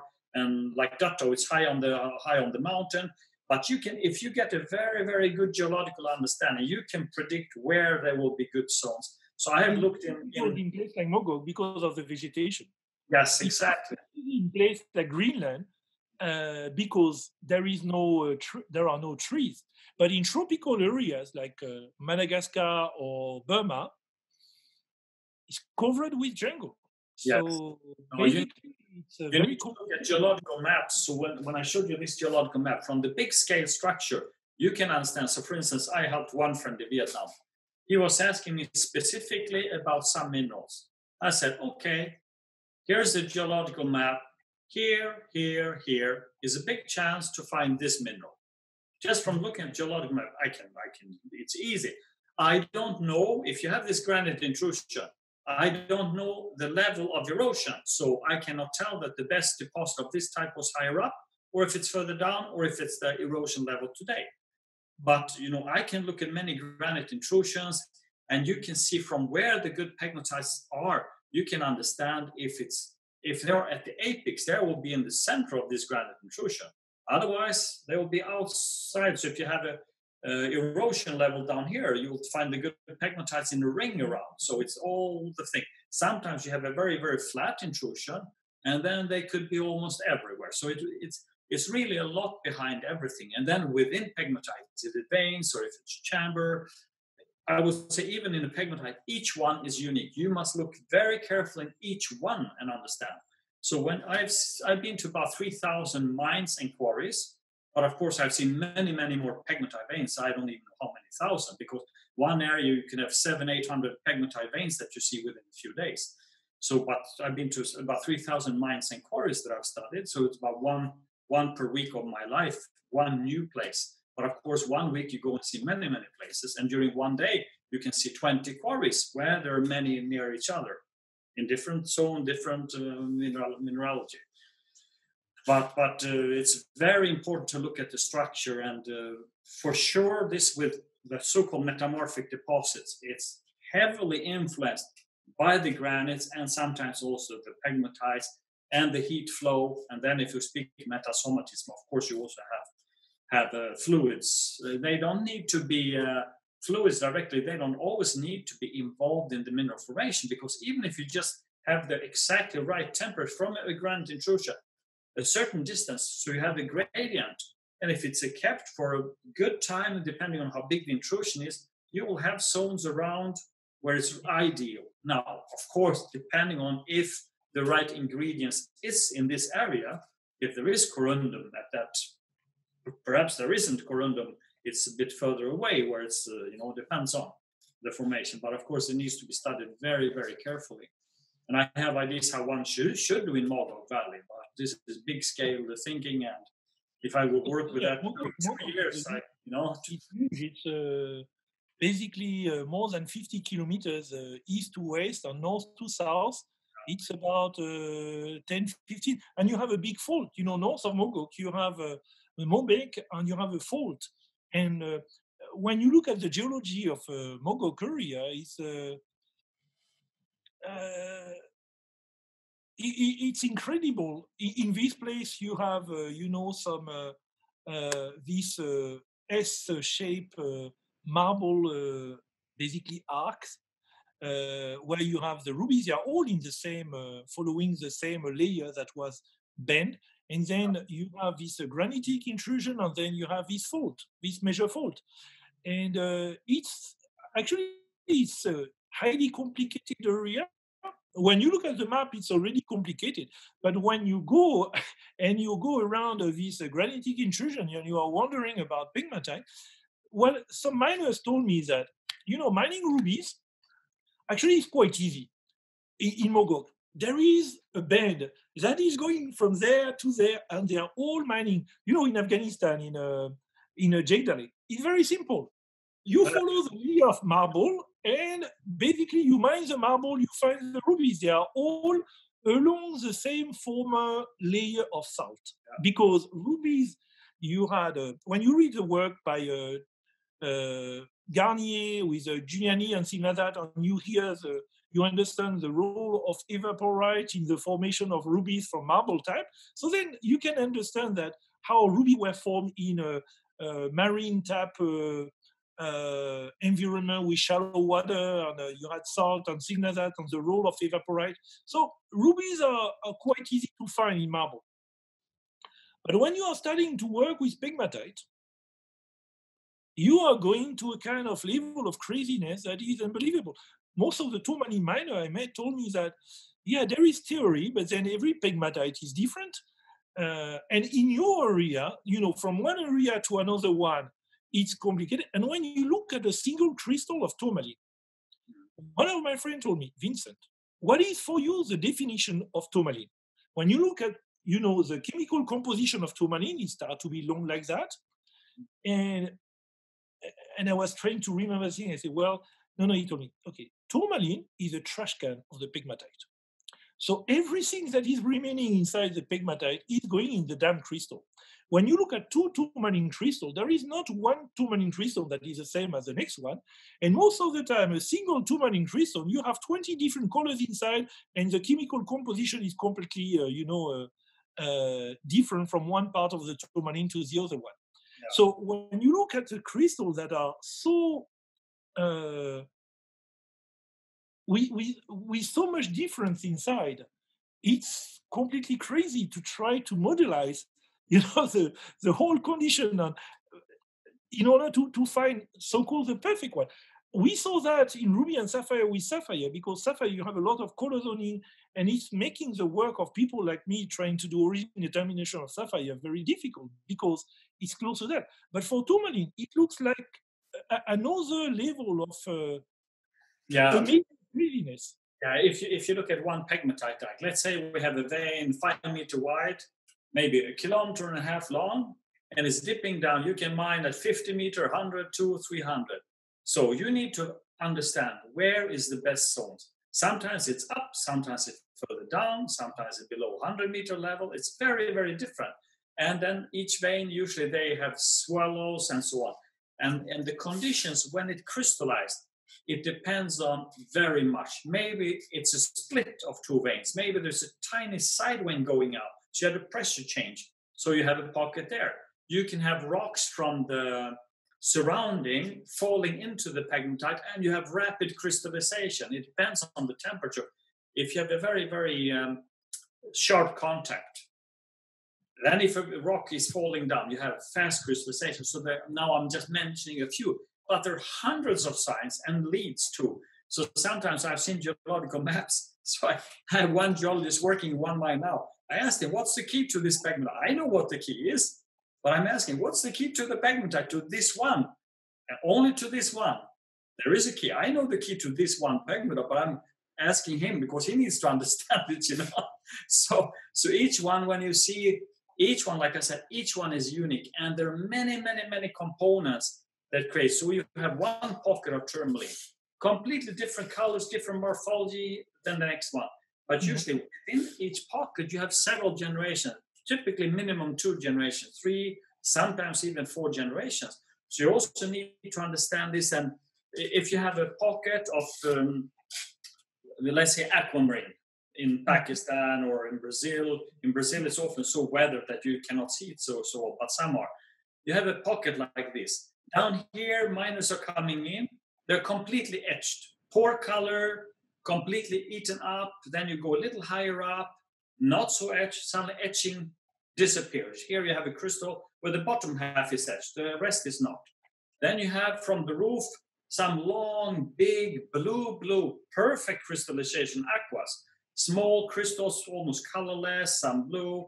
So within a pocket, you can have, I have made pictures from complete pocket contents. I know where it crystallized where, just for documentation so I can show other people and teach, you know. So in the same pegmatite, in the same pocket, you have different quality crystals. Completely different within the pocket. You can even have an aquamarine here going to morganite over here. This is very rare. You can have green beryls, you can have Heliodor here, and then you have one blue-green aquamarine. So sometimes if you have a big several meter pocket, there are just the gem crystals in one little corner here. Same in, you know, I studied many ore deposits also. Sometimes in ore deposits, that's why it's important to study many different types and look at crystallization sequence. So ore deposits, I found one tunnel that the miners, when I came there, they thought, oh, this is an old uh, mine tunnel from some centuries ago. No, it is not. This ore body was only known by drilling several hundred meter depth. So they went into two different levels. But it looked like a perfectly old time round and mine tunnel. I took a huge ladder, climbed up to it, crawled in, and it was pure magnetite.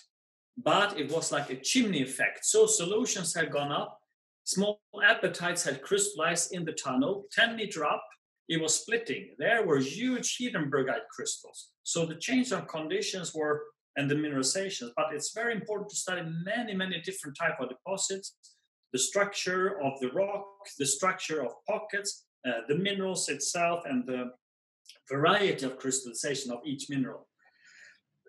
so, because it all comes down to the real conditions. And we always think about mineralogy when it comes to pegmatite. What was the chemistry? Yes, but it's also the physics of the pegmatite, very important for the crystallization. When you know we suffer with the ruby and sapphire, the closest with pegmatite, of course, are you know blue sapphire mine. So yes. I was, able, I was, not able to go to uh, visit the mine in Kashmir, but uh, I read several articles about the sapphire deposit in Kashmir, and uh, you know it seems that the sapphire were found in pocket, and uh, some pocket uh, sapphire crystal are like that, and some pocket the sapphire crystal are like this. Yes. And uh, basically, sorry. Basically, uh, the interesting thing is that later I went to uh, Madagascar in Andranondambo, and I went also to Kataragama in uh, Sri Lanka, where you know sapphire are found in a very similar condition because the interesting thing with this deposit is that most of the sapphire deposits around the world are found like a secondary deposit, but sometimes there are some primary deposits like Andranondambo or like uh, Kataragama. In Kataragama, people still think that it's not a real deposit that they found a gemstone in a kind of uh, they found a treasure from a king, but actually it's uh, from the description of the guy who were working there, it seems much more like a, a deposit, a pocket type of primary deposit.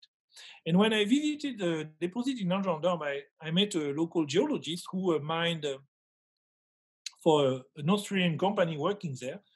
And he mined uh, more than uh, 200 pockets and uh, and he told me about the same thing as the guy who was driving a machine in a Kataragama.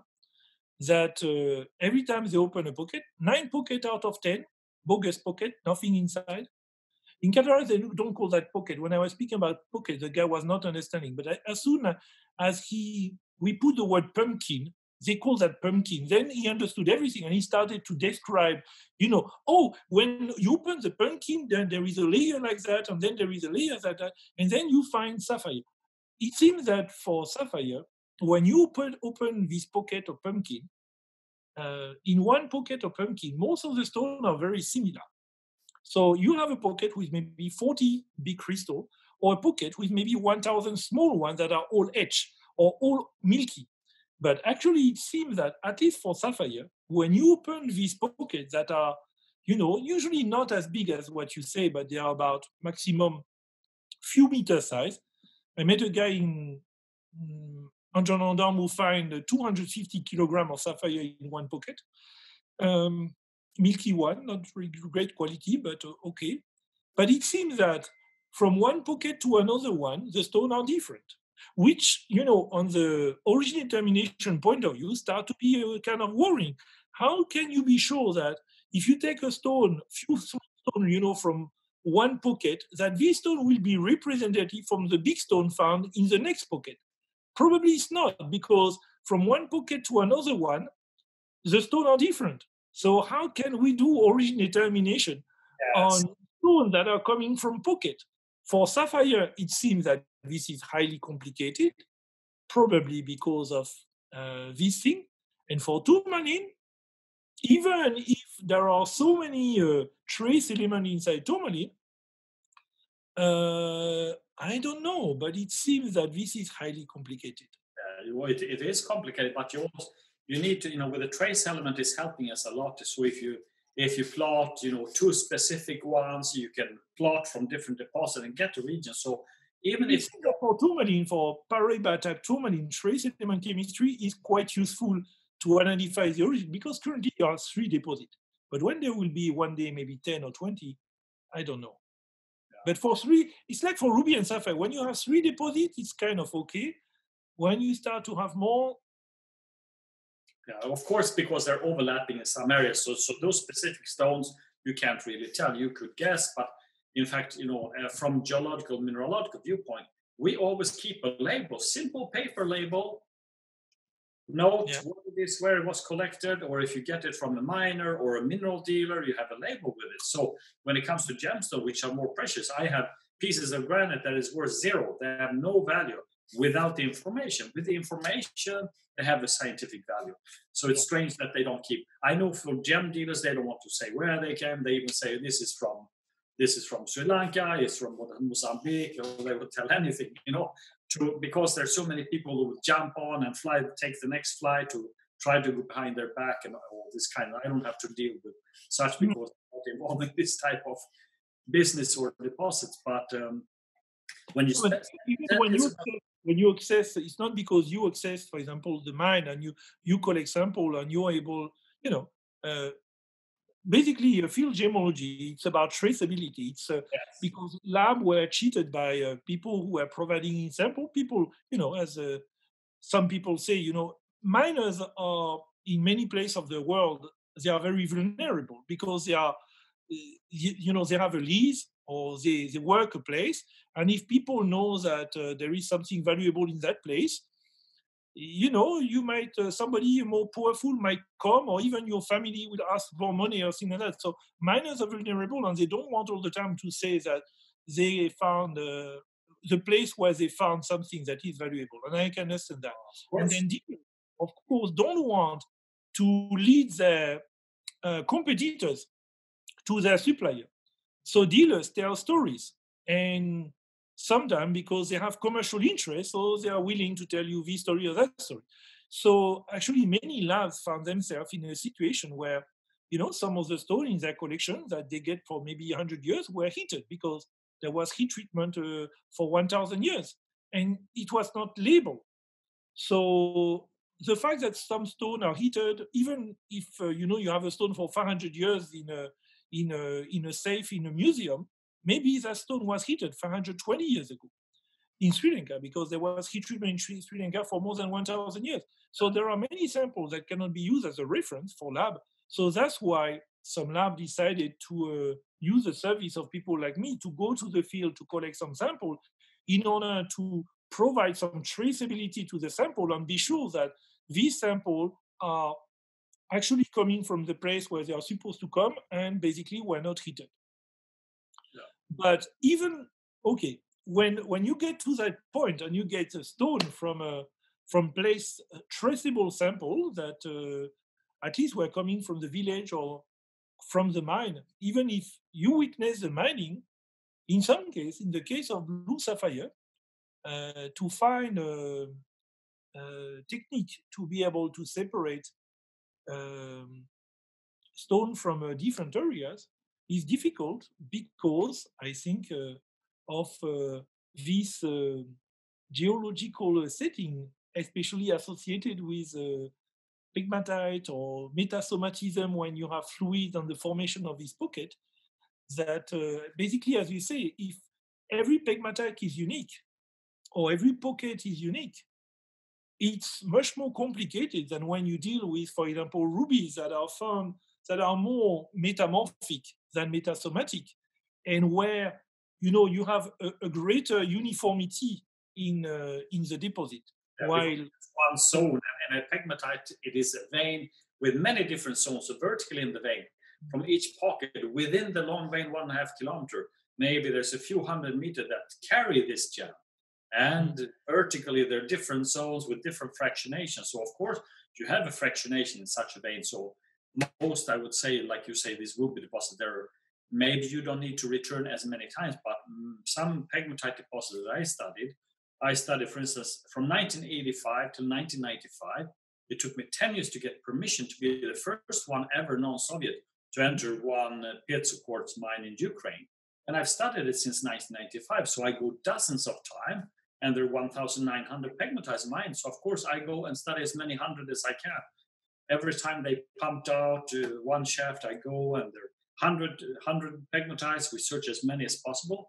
Most have only cores, nothing else, but everyone is unique. And I look at the structure, the shape of the pegmatite itself, the shape of the cavity, even the quartz crystals, morphology, really all minerals you, you look at and study. So you have a, you know, it's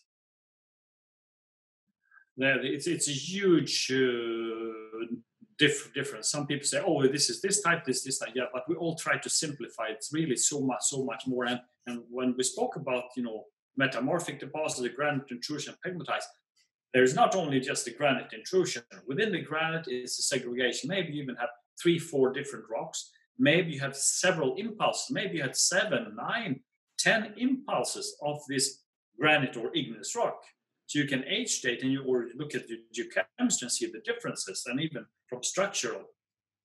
And and so you could have several impulses of pegmatites. For instance the himalayas are forming now. So we have age dated pegmatites 8 till 23 million years old. What about those that are forming right now? Because they're mm-hmm. still forming. So if you in 300 million years time, well, age date it? Oh, there's 300, maybe there were two or three generations, maybe there were 100 generations in reality. You know? in the same area, like uh, I was looking at, uh, you know, uh, visiting the Kagem Emerald Mine in Zambia. Yes. And they, they, they dig this whole beautiful place. So you can go on your other side, on the standing in front of the mine, and you can see the wall, and you can see all the pegmatite, you know, crossing uh, the different layers. And I was wondering, uh, sometimes you have one pegmatite like that, and then you have another one crossing. And I say, do they have the same age, all these pegmatites? And they say, no. Ah, okay.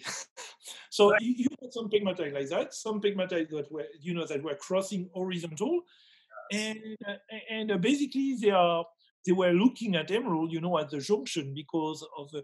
Actually, in that case, it was quite easy because for them, emerald were forming in the reaction zone between a rock that was that is rich in chromium and a pegmatite that is bringing. So basically, you you look at the rocks that are rich in chromium and you are looking at where these rocks are intruded by pegmatite, and then you have a reaction zone, and then in the reaction zone you have the emerald.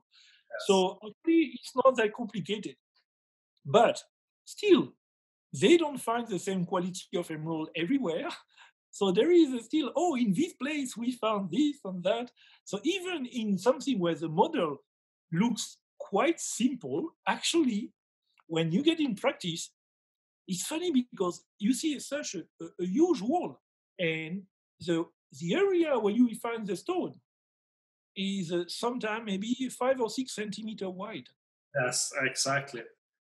and, and, and the pit is one kilometer by one kilometer to mine a place that is six centimeter wide. And but this is why it's so important to be in the field a lot because even when I studied not so, uh, what should we say, exotic and valuable material, when I was a child looking, I found small fishes. But even if you found one fisher 50, 100 meter long, there was just maybe one spotted crystallized pyrite crystals or epidote or something but you learn a lot studying all kinds of not so exotic deposits. You learn a lot from the from the crystallizations and, and how often and where where things occur. Do you guys want to do um, a few questions? Because there's a few that have been hanging out. Maybe Right. it'd be fun. Sorry, keep people waiting. Just to switch it up a little bit. Yes. Um, so going back to when you were speaking about your childhood in Sweden, somebody had asked, could you recommend a few places to visit? Like if someone was going to visit Sweden for Yes, there, there are different uh, types. When it when it comes to pegmatites, there are many regions. It's southern Sweden. It's both the west coast, the east coast, up in the north. So in fact, the best is to get a geological book, the descriptions, geological uh, books. Uh, SGU, the Swedish Ge- Geological Survey, have good maps you can find online, and usually the description for each region. So some places you're not allowed to collect, but historically, the lithium pegmatite of Utö, so outside Stockholm. So you can take a boat out there, beautiful island. You can see the dumps. Now you don't see much pegmatite; it's just coming up uh, above the water level, one of the open pit. But it was an iron mine where two big pegmatites were going crossing the iron ore. So it has been mined since since 14, 1500 something. They mined silver, I think, on the island since 1100. But this pegmatite goes down to 214 meter depth. So you have a thin vein. I think it's a couple of meter at the widest, one and a half meter. But you have the discovery of lithium pegmatite. It was there. Discovery of lithium, element lithium, discovery of spodumene, discovery of indigo blue tourmaline, indigolite in Swedish, but Andrada misspelled it. I've said it on numerous uh, lectures the last 20 years, you know, but it's still indigo blue tourmaline, indigolite, and there is really indigo blue Utö. Mm. Uh, so there's a good place. Just north of Stockholm is Ytterby. So there we discovered the rare earth element pegmatites for the first time in the world. So two completely different types of pegmatites right around a capital in Europe, which is fantastic. Their first known specimen dates from 1756 from Ytterby. So from the uh, name of the village Ytterby is Ytterbium. Then yttrium, then they took away the Y, terbium, took away the T, erbium, scandium, holmium from Stockholm and so on. So in Sweden was the greatest number of elements discovered because of the mines. So now we spoke about the pegmatites, but then the Bergslagen iron ore district is in central from Stockholm straight west. And there are about 2,000 iron mines, many polymetallic veins also, some are working. And what is nice is that they're dumps in the forest. So you need to get some geological literature. The best is, I would say, SGU, because there are a list of the books, of the publications of maps that one can, and some one, one can even find online some, some apps. So that's the best start. okay. I I think that I, I read somewhere that the first spinel, the first spinel, the first blue spinel ever described, Yeah, it's also just south of Stockholm. yeah, Wow. Yes. in uh, the 70s or something. So the first publication about spinel was actually a blue spinel, Yes. and it was found in uh, Sweden. yes, correct. Mhm. And Peter, can you recommend some books for people on pegmatites? Well, there are quite many. Uh, let's see, I, I have here, this is all about pegmatites right here. This is all about pegmatites. And then I have many meters of special publications. So these first ones are in Russian on pegmatite, which most people don't read in English. Uh, you would go to Canadian Mineralogist. They have several special publications on pegmatites. So Canadian, Canadian Mineralogist. Then you have, for That's- That's a journal. Canadian Yes. mineralogist. and Okay. it's mineralogical journal. So they look like this. Okay. Mhm. Take a screenshot for those who. Yeah. That's very good. This is, of course, the Quintos mine with Paraiba tourmaline. And uh, I will put this there.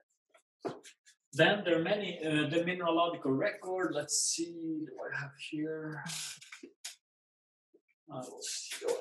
Let's see here. This is uh, the Russian Volodarsk Volynsk.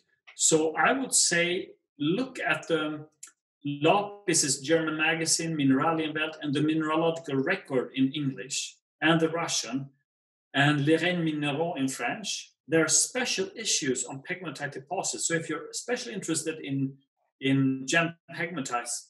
I would say if you want, like Vincent, to make a really jump start, you get those because you know to get the knowledge to write this book, you need to study 20, 30 years. So if you read this a uh, number of times and study carefully, you will really uh, learn a lot. I will show you a few more here. Uh, let's see. Here is mineralogical record. Here is an article uh, on Volodites that I wrote in this one. Uh, there is one I wrote on uh, Afghan pegmatites. There's one recent one also, uh, Extra Lapis, uh, which is published. Let's see, we have here. Oh, this is mineralogical record. This is on Malkhansk, tourmaline pegmatites in Transbaikal, Russia. So if you get those special publication, and of course emerald and other beryls, it's if you come to pegmatites, that's uh, something you definitely should have. Here is a book about pegmatology, yeah. which is giving uh, much of the basics. It does not have much about pocket formation and gem, but it has some. So I think uh, I spoke with Skip Simmons, and I think I will maybe uh, help them write a couple of chapters about gem pegmatites and put about the pocket formation would be very good to update this and would be. I think for people, if uh, people want to have a crash course in pegmatite, I think recently there was a guy who gave a very interesting webinar as a guest for AIGS. Ah, yes, okay. yeah, I, I, that's that's a very fastest crash course. So in fact, when I gave that one, I was thinking to make, I could make maybe 10, 20 different levels of the same. This was very overview for gemologists. I could go second level, third, and when you come to level 10 or 15 or 20, it will be valuable for whether you're gemologist or geologist or mineralogist. And I, I could do such courses easily. It's just that if you want to make explain many things, you need to uh, do a lot of drawings, which takes a lot of time. And I can do by hand drawings and and take a picture and put in a PowerPoint. That's easy. I did that at GIA. I, I gave a talk, and in fact, I aimed it not only at gemology, it was maybe too much geology because I spoke in a 2011 conference. So mm-hmm. I gave a talk. There were 700 people in the audience, and I got very, very nice feedback. Although it was technical, some parts I cut down because I noticed people was not really understanding everything of it. But there I gave a spectrum of the types of pegmatites from the granite intrusion and I think I will prepare some PowerPoints in the future. So I will have 10, 20, which goes down to different levels. Because I know even among researchers, I am one of the few percent who I think I have seen the biggest variety of pegmatites in many areas of the world. So I, I think many people could mm. benefit from it. From what I heard, yeah, you are probably the one. Huh? I don't think that there is many people alive or even uh, dead who has visited so many pegmatites and yours, at least in all different countries, because yeah, it was hard to travel. You, know. you you went, of course, to Sweden, and then you went to uh, Russia, you went to Ukraine, you went to Brazil, you went to Pakistan, Afghanistan, you went to Namibia yeah, Namibia and Madagascar, but you know, even you know, I've studied pegmatites even in Morocco, in different places. I've and crystallizations in granites, other places. I've traveled, and this is my holiday. I go to one area, and of course, I select. I have many areas left. This is your holiday. So, how, so you don't have anybody to finance that.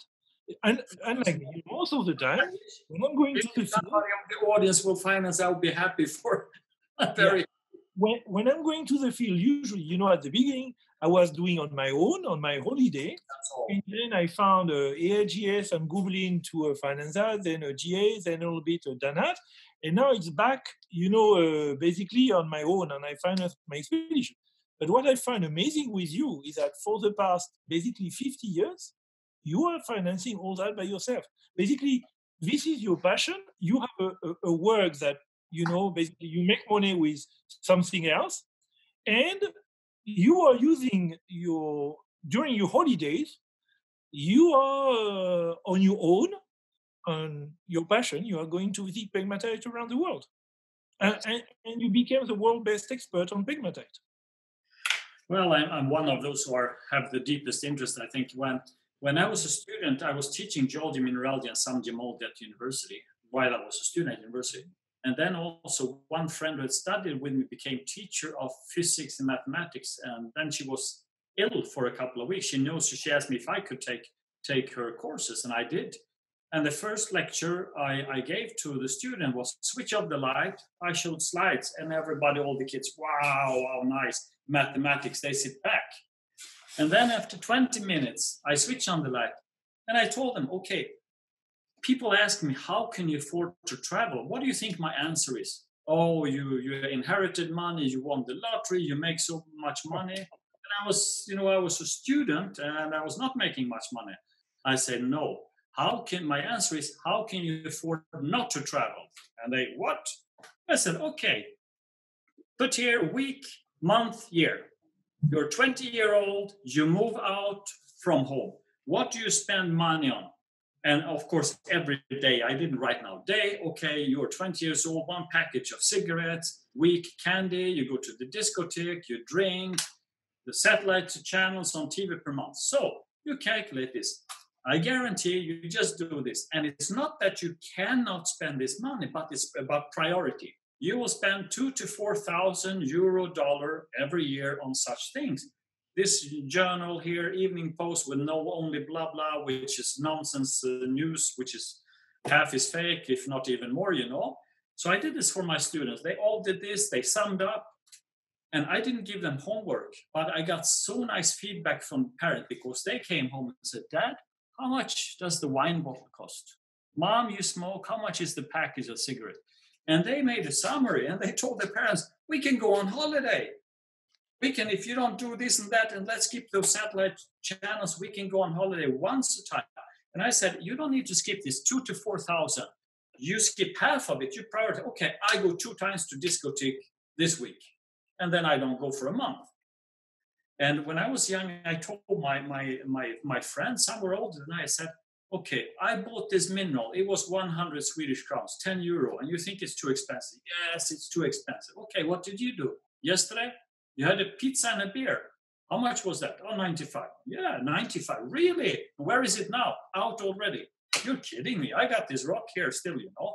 So most I spent on traveling, but it's really is all about priorities. So when I was younger student, I couldn't afford to buy the books. Many good books have come lately, but I, there was no way in the world I could afford to buy the books that I need, and university didn't have. So of course, when we make more money, the older we become, we can get some books, which is expensive. It is not expensive for what it is, because I rather pay some hundred euro, 200 euro for a really good book than buy rubbish where there's no information. So if you want to make shortcuts, I think you should subscribe to Gems and Gemology, the Mineralogical Record to a couple of journals. This it's not expensive the year to do that. But now, if you get now, into many, cuts, buy the issues. Many of these journals now you can get for free on internet. Exactly. Many you can get for free. So now it's even even more fantastic. I had Lapidary journals since 1972, and I couldn't keep them because I don't have so big house. It's very expensive in Luxembourg. I had to give some of them up. In fact, I kept some very special issues, but I just could not keep them all. I had National Geographic from was 1947 or something. I had. I also just gave them away because I, I, I don't have space for that. I have to prioritize to the to keep. But really, uh, when when I was a student, I went to the USA for a three month study tour. I had 1,200 US dollar to travel three months, but I had already bought one airline ticket to come to New York. I had bought five internal tickets and I bought 10 24 hour bus tickets. And I slept in the desert. I slept with some friends. I gave some talks. And I traveled 23 states and I shipped back 1,600 kilo minerals. Of course, freight collect because I didn't have money barely for food. But when I got back, I worked all summer. When the minerals arrived, I had all my summer money just to pay for shipping, you know? but it was all self collected. 1,600 kilo, 3,000 pounds of rocks and I gave it all away after when I studied it, you know. yeah, I, uh, I, I, perfectly understand the thing. And when sometimes I, I, listen uh, the complaint of uh, some of the people willing to come with me and telling me that they don't have the money for this and they don't have the money for that, And when I see them coming with a brand clothes and things like that, Brand new car. them, and I'm, hmm, Yeah. yep, obviously, Priorities. obviously, priorities or setting of the priorities were not exactly the same. And uh, yeah, no, I, found many people, you know, they are not coming, uh, you know, from a wealthy family, but you know, like uh, uh, for me at the beginning, uh, I wanted to do something, so I was planning. Uh, okay, I need that, so I need to work for one year. And before before to go to gemology, I was planning my uh, my shift. You know, when I found the book Ruby and Sapphire, and I was sitting, okay, how can I go to gemology and things like that? It took me three years to save the money to be able to go on uh, learning gemology in Burma and then learning gemology, uh, studying gemology at AIGS, uh, at uh, at GIA, and then working at AIGS for a while. I was losing money every month because my salary was not covering my uh, uh, the the cost of living, uh, you know, in uh, in Ceylon. Uh, it took me uh, basically the first eight years in gemology. I lost money every month, and uh, after eight years, I was able to break even. And to break even and to reach basically the level of the saving I was doing when I was tour leader. So it, it took me eight years to get in a in a basically profitable level. And, and I, I had several students like you were telling me that, "Hmm, well, gemology is a is a very nice passion, but as a business, it's uh, very complicated to uh, to make a living out of gemology. And uh, that's true. So sometimes you have to go outside of gemology to find, uh, you know, to make some money and then save the money so you can follow your passion. Exactly. Exactly the kind of thing I'm thinking now these days with the COVID 19, where suddenly my business model based on traveling is dead because I cannot go out from the country. save the pennies now. But you know, I, I was uh, when I was student at university, I was teaching at university, but then I had evening classes in geology, mineralogy, and some gemology. I even showed them how to facet. I built a machine when I was 18. But uh, I I worked Monday night, Tuesday night giving lectures after university. Wednesday night sometimes we went to a factory where we produce C vitamin and selenium tablets. We just filled the machines. Weekend I worked also. So sometimes worked as a tour guide to ski resort. I had no money to to to pay for skiing. I couldn't afford it from when I was in the army. So I got paid 150 euro to go a ski trip to Norwegian mountain, bring the people, guide them in the mountain, arrange picnics and things. But I didn't have to pay, the four or 500 euro to ski. So I got paid for. And I did that during many years when I was in the army, when I was a student, and I had simultaneously several works. I remember one summer where I worked at a construction site every daytime. So this was this was work from seven till five, and then I biked and I worked at Volvo Car Company evenings. That was six till six in the morning. So I slept during the lunch hour and I slept 45 minutes in the middle of the night and biked 10, 12 kilometers back and forth. But I did that during two weeks overlapping. But I made the money so I could go to some geological expedition. But I was really exhausted after that, so I don't recommend that. Better to work a few, nights a week, but it's not not so easy. There were not so many. Uh, most of the people uh, that uh, you know I travel with were not exactly at that level of uh, commitment. I have to You say. have, I mean, I it- one or two. There were one or two who were really uh, working hard in order to, because I don't pay plane ticket and I don't pay travel expense of the people traveling with me. Um, e- every time I did, it was a mistake because basically the people who did the less were the people that uh, I pay their travel expense, and these people were the, probably the the they were they were not really they were the worst at preparing the expedition and the results were usually uh, very bad. So I, I i learned that you know if you want somebody motivated in an expedition you make sure that he cover all his costs. If he is motivated if he's motivated enough you know to save the money then this guy will uh, really uh, do his best during the expedition and even after the expedition because the expedition costs him and then he will value everything about it now if you provide uh, this guy you know some um you you help the guy and you provide him this thing most of the time I, I was not able to uh, to find any good result on investment. Yeah. No, it's it's commitment, and you know the thing is there there are no shortcuts. Everything comes after hard work. It is if you find something, what you learn. So, for instance, when I went to the Urals the first time, I had very little money. Even the airline ticket was rather expensive. I come to the middle of the Urals, and I needed to get local permission even to go to Nizhny Tagil, to go to Pegmatite area, to go to the emerald mines. And the local security office, I had to wait outside in the car while a friend went in.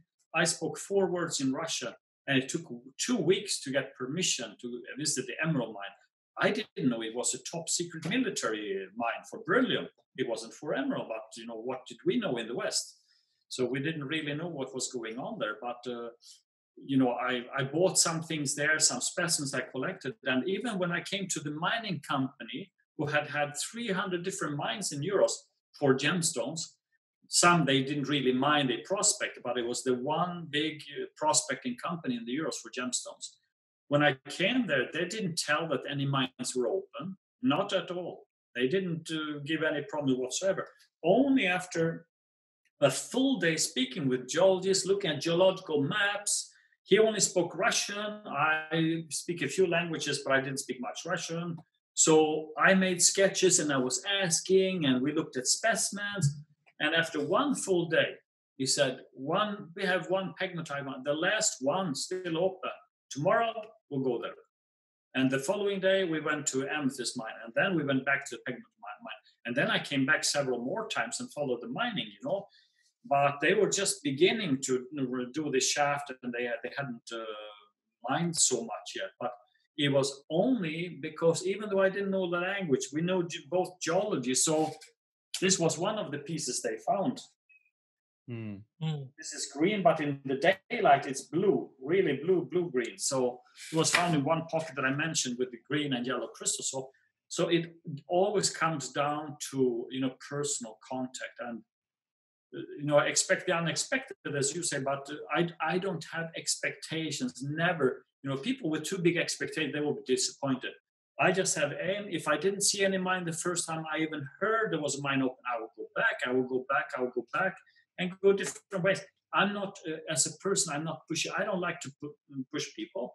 I speak with them. If they don't want to let me in the mine, what can I do? You know, I don't do any dirty tricks. I don't do anything. I, I wait till I meet the right person. But as you know, it takes a long time. For instance, early 90s, I made contacts to go to Pamir, Tajikistan. Mm. I got to know the chief geologist, the one finding most of the deposit, explore, exploring. Then he moved back to Moscow.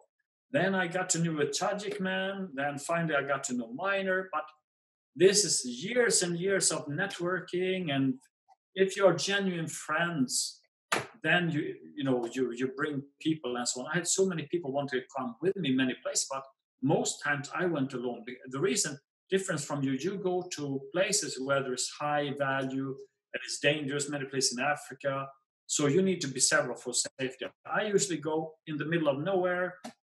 I have nothing. I have no weapons. I have nothing. I don't have money. I don't need to bring money. I have a hammer and I have a paper and pen and I'm just ready to speak with the people. I'm ready to sleep in the mine or on the dump or in the forest or, you know, or on the mountain 5,000 meter in Pakistan or South America. So I don't have big expectations. I think the key thing, you know, we both like people. It's re- if you don't like people, you cannot do this. And you always have to listen to the people where you come. You meet a poor farmer somewhere in the mountains or, or a miner, and you need to look at the world from their perspective you know why should they bring me here why should they show you you need if you're not a human being and you don't have a contact there's no way in the world they're going to bring you and in the 90s this was a problem in russia if you don't do the sauna and drink vodka there's no way in the world you're going to get into that mind. so when i'd been a couple of times one american friend is professor mineralogy he asked me peter could i come with you to russia okay so I arranged, we traveled one month in Siberia, Ural Mountains, and down to Ukraine. And there was one occasion in the Urals. We came there, and I know that this was a very good geologist, but he had some funny business. He had cutting, and he was taking over mines from the real mining company where he had worked. He had the biggest house in the village, huge house, big guard dogs. And when I came there, this was the third time I had learned enough Russian so I could hear and understand what he was saying. Immediately, he called the judge in Yekaterinburg. Okay, you come here and come with your bodyguard. So we are staying at this guy's house where we were supposed not to stay from the beginning, but it ended up there. So he was the mafia boss controlling every mining there. So what do you need to do? Well, he's very good geologist. We had a great time looking at his collection and cross sections of granites and pegmatites. He had done a fantastic job. And then it was dinner time, which was in those days very difficult to get food in Russia at all. In 90s, it was just it was anarchy. The country was raped by Russian oligarchs, by foreigners. There was nothing to eat almost.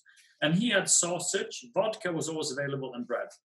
And we toasted Nastarovia and we drank and we sang. And then it was time, time for banya. I'm Swedish, I'm used to sauna. We have Sweden, Finland, Russia, and some, you know, in, in the Alps also. And my American friend, he went into the banya. And Russian tradition is you take birch and you, you put it in water and you circulate. So you really burn and then beating also. And he was really screaming for his life. He's killing, me. he was screaming for his life. So this geologist, Igor, he was a huge, big, tall, strong geologist. He was beating my friend who was big himself, you know, but he was tiny in comparison. And I went in, I said, Igor, it's my turn. I took, now you need to. And he was beating me and it's steaming in there. And okay, Igor, you lay down. And I was beating Igor. so, so the funny thing is, I and my American friend, we were the only ones who were sober the next morning. He didn't want us to go to the mine. So we went with a, with a car which was delivering bread in the village. We managed to get him to take us out to the mines, which is terribly poor roads. You need these huge uh, one and a half meter wheels to even reach there because they're hydrothermal amethyst veins crossing the road. So they're one meter deep clay, and you can barely get, even if you put branches, it's hard, hard to cross. And when we got back in the afternoon after visiting the mines with my American friend, Igor, they were so, oh, you went to see the mines. It was not planned, you know. He didn't want us to go see the mining company, but we were okay because we had such a great party. Then everything was okay. But he brought the judge, and the judge and bodyguard who was using his revolver all the time, swaying and telling things he had done, and you know, and and this guy who, who was uh, a judge, this was in the you know criminal times in the 90s. He could probably never be a judge today, but his brain was like a three, four year old. He would have asked Igor shoot this guy like like nothing, you know. So you really have to be very, very careful going many places. And before that, my first, second trip to Russia was much more dangerous, really much more dangerous. Mm. Peter, um, aside you, you remember about about that? You know the the the basic the way I'm doing sometimes for selecting people is bringing people in Vietnam. For example, we go to Vietnam, and I, it's not going to such extreme things as in Russia, but some people, you know, you bring them in a mining place and they have to enjoy. Uh, there is uh, the miners are welcoming them with uh, rice alcohol and dog meat.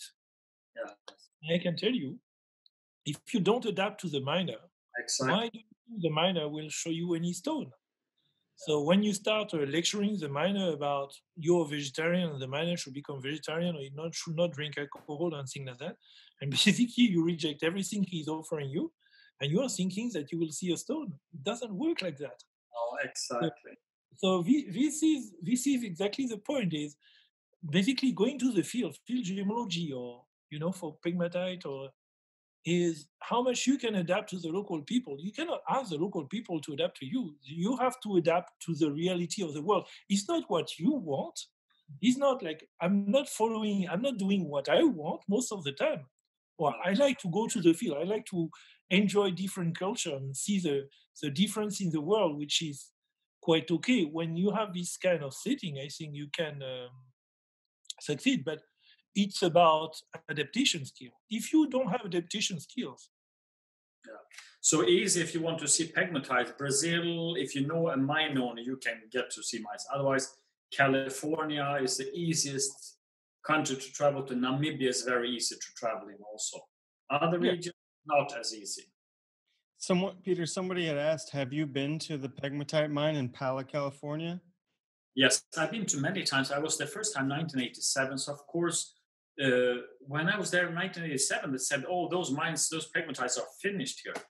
And I was looking. You in Pala, you have three mountains, three hills with many. Uh, you even have, I would guess, estimate like a hundred on the richest one, maybe 50, and a dozen on the other hill. And you see they mine some of what they thought the richest sections. And I said, we got plenty of mines here, uh, plenty of veins still to be mined. So of course there's more.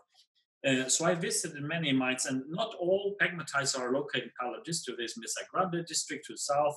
There's even further down to Jacumba. So I've been from Riverside County all the way to Jacumba. I've looked at many pegmatites. Many of them I've been many, many times. So Himalaya mine, I was in 87 the first time. I saw several other Stewart mine. I was outside Tourmaline Queen mine, but I've been back many, many times. And of course, most of the mine owners are, are my really good friends. And the thing when you come to mine, if you have seen many other uh, mines, of course, you need to have the knowledge uh, and respect for mines and be very well about safety. This is number one. You can't let people in where they start to do something with rocks falling down and they can hurt themselves and others. And that, that liability is a big thing. So, but I have really, really good friends in, in California, Ocean View Mine and Gems of Pala are two places where anyone can visit. You have to make a reservation in advance at Ocean View Mine. Mm-hmm. And during the weekend they have, so you can really get material from a pocket and sift through and find your own quartz crystals. If you're lucky, you find a kunzite or tourmaline. And that's a very good start. They have a shop there, same as Gems of Pala. They have the shifting outside. You can see things, you can see the rough, you can see the cut stones. So even for gemologists to get that, what the material looks like before, for those who haven't been in the field, is a very, very good start. Okay. And very easy to visit. Even if you're in Europe or Asia, just take a flight to Los Angeles, rent a car and drive there. Plan on a week. You can do some other sightseeing, of course, but yeah. if you visit one mine, maybe you're welcome back another time, visit a second mine, and get some t-shirts, buy some rough, maybe buy cutstone for your wife or for yourself, or you know, it's it's all about uh, if you if you communicate with the people and if you have something to give to them, if you you know if, if you can give something. So most of my miner friends, we sit all evening and discuss and you know speak about different pockets, and and this is extremely valuable a mine owner who tells me about how this pocket was and why, and I can tell about similarities in another one or about completely different. And this is the most valuable, you know, these are evenings that can be all night. Yeah, yeah. And as a good starter, again, if you want to visit a mine, people who are listening to us, yes. basically, you know, if you plan about that one month before, start to read. Absolutely. You, if you read one month before and you plan your okay, let's read three hours per day for one month before to go there, and then start to think about you know after you're reading you sit down and uh, you think about it and you start to you know to get the right question because question will come because not everything you will read makes sense and this is normal. So then you start to have question the most important thing you know in science is not to find the right answer it's more likely to find the right question so then this is the way you advance. And when you go to see a miner and you have read something about his area, basically you have prepared your expedition, and you start to asking few intelligent questions, then the miner is happy. And then very quickly you will become a friend. And then he will show you more. And this is the way you, you start. Basically, read, then go, ask question, make friends, adapt and make friends. So that, I think this is a, the recipe. I see a question from uh, Martin.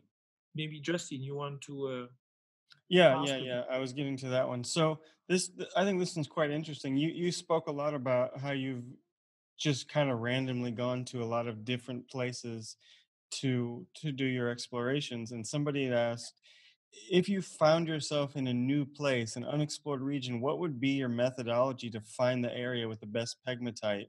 and what would be your method to find you know hidden pockets in the field? How would you approach it?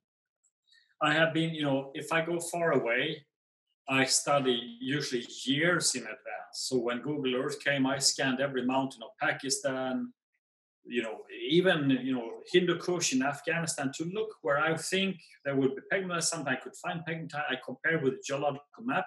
Mindat is very good because now you can even go to a locality and you can get the geological maps, which is fantastic. So if I come to a place where I couldn't study in advance, I always do a scan, try to look at the local geology, if there's one mine or two mines. Sometimes uh, I can find an outcrop that has something that wasn't mine. Sometimes I come into the mine. So I'll give you one example. Uh, when I was a student, I brought, uh, there was a geological society in my home city, and I gave evening classes for many of them. And I arranged many weekend excursions. So I brought them to one mine they wanted, which was an old feldspar quartz. And this is famous because it has breccia with small quartz crystals. So I scanned around, and there was a tiny mine near it, but a bit higher up on the hill and the forest all overgrown. So I brought the group there. Okay, how do you find a pocket? I said to them, How do you find a pocket here? Oh, this looks really ugly. There's nothing here okay, what do you see in the pegmatite? And I have a second story which is uh, exactly the same. Oh, there's nothing. Okay, let's go down in the hole. Small vein, two meter wide, a few meter long, just moss and wet and snails and oh, mosquito. Oh, this is, oh, let's go out. Okay, now look at me. What do you see here? Here is a small tree. Where do you think the tree will grow? If you were a tree, where would you grow? in a pocket, of course, if there is a pocket. I cannot guarantee. So we put this tree, a small tree just to the side and dug around. Here is a pocket, doubly terminated quartz crystals. I took up and filled a box for them. I said, okay, take these and uh, you have crystals from here. But don't destroy this. That was just one example. It took me one minute. When I see the whole, I understand there's a big chance. So another example, this was a pegmatitic conference, Miarolitic Pegmatite Conference, the first one in Milan in 1987. So I gave uh, three talks there. And in one talk, I spoke about uh, Miarolitic Pegmatite in Scandinavia. And there was one friend there who he was doing his PhD. He was sat next to his PhD uh, professor. And he has lived very close to this mine, so has been there much more times than I. And he said to me, You mean those, uh, he interrupted in the middle of my talk, you mean those nice, very well shaped uh, feldspar crystals growing in the quartz, frozen in the quartz? No, no, I'm speaking about pockets now. But there are no pockets in this pegmatite.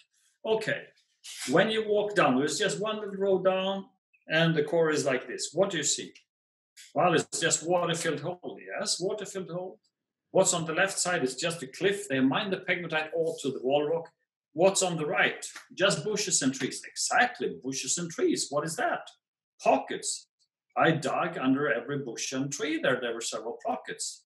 So pockets one and a half meter diameter. Scepter quartz, the only ones ever found in Sweden.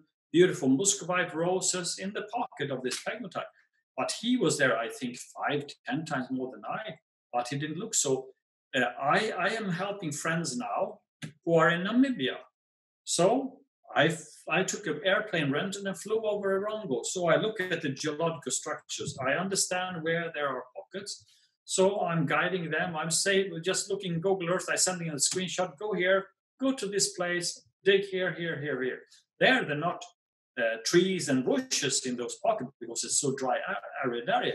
But just from the structure, I can tell where there will be pretty nice pegmatites and many will be cavity pegmatites. So it all depends on the terrain, depends on what type of pegmatite, and not all pegmatites do have pockets. So most do not have pockets.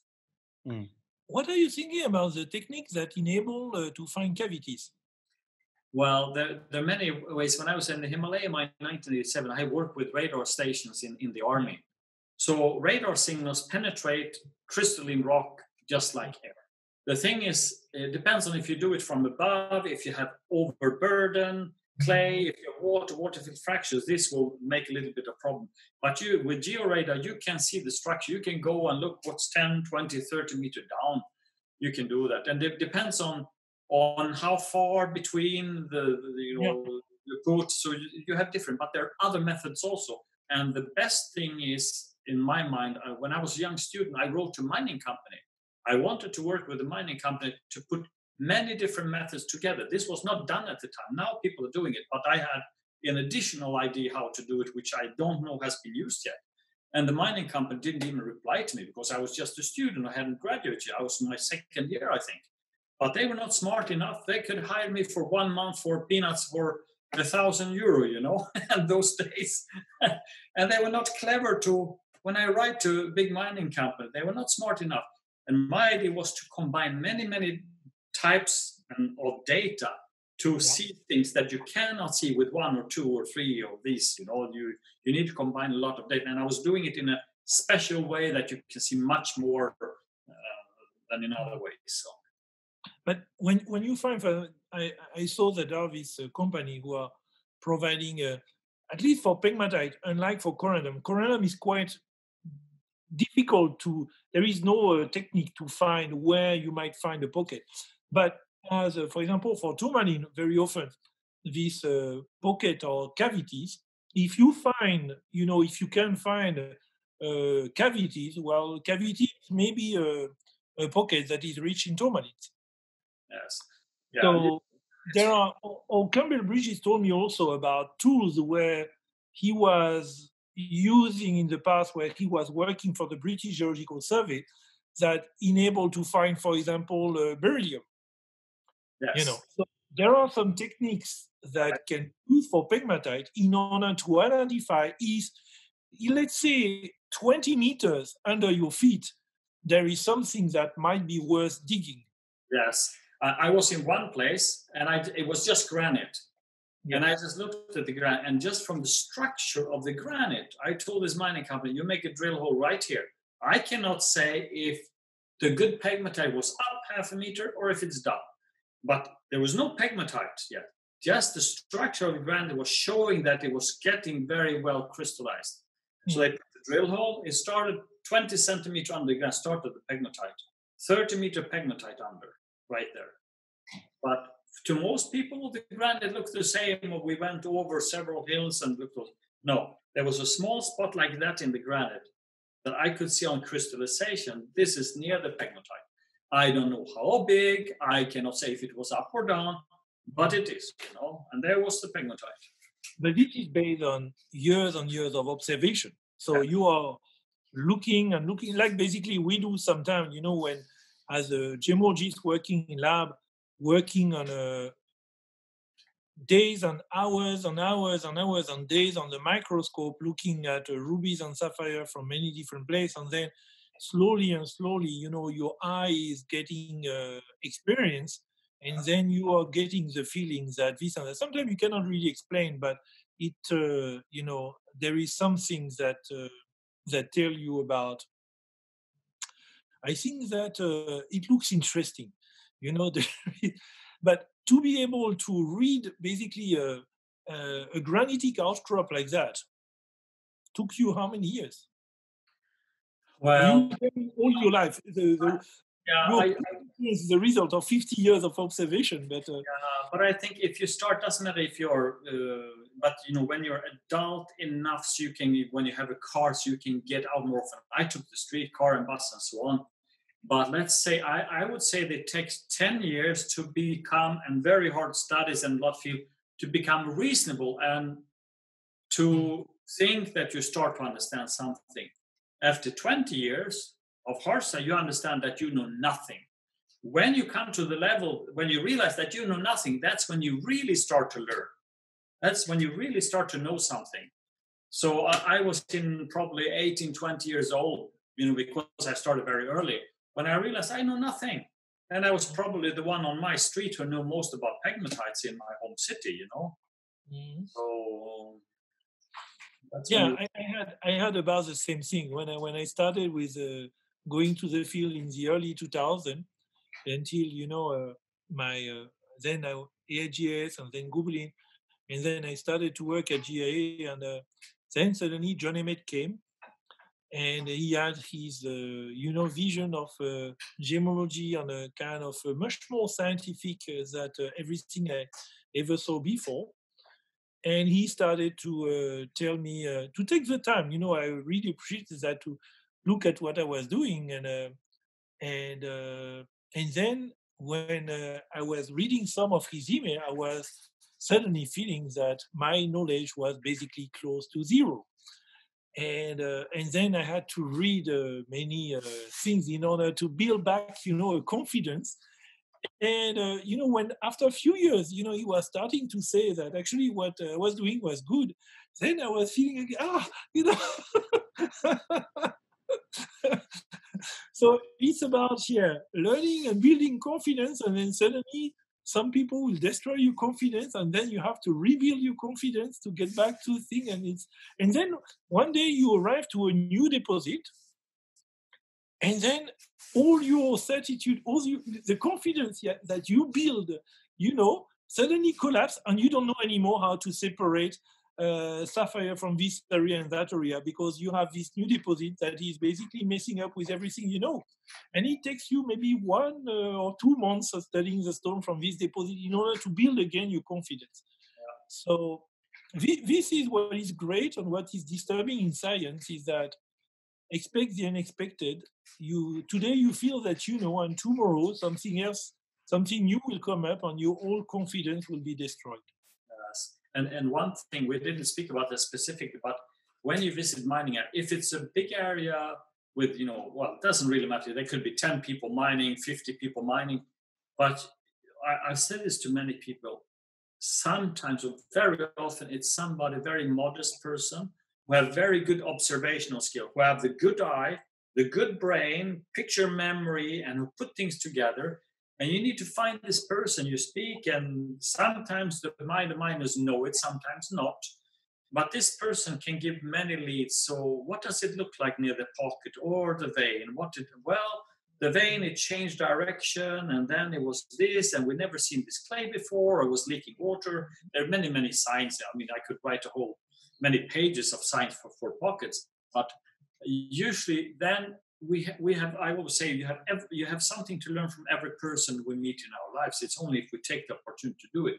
And of course, in a special field, we have to mm, something to learn from from every miner who was observant, and possibly from the other ones too, even about the geology and mining. So so many times they observe some small signs that is specific, maybe for that pegmatite. Maybe there is one, two other areas known in the world where there is also similar sign, but there are many, many such things. I mean, we could write several volumes only about structures in pegmatite and science. money Exactly. I, I found that in most of the basically all mining area. Of course, in new area like Gemrush, you don't find people who spend when when the place was discovered last week. You don't find people who have spent a lot of time there, but you find interesting people from other places, and they all have theories.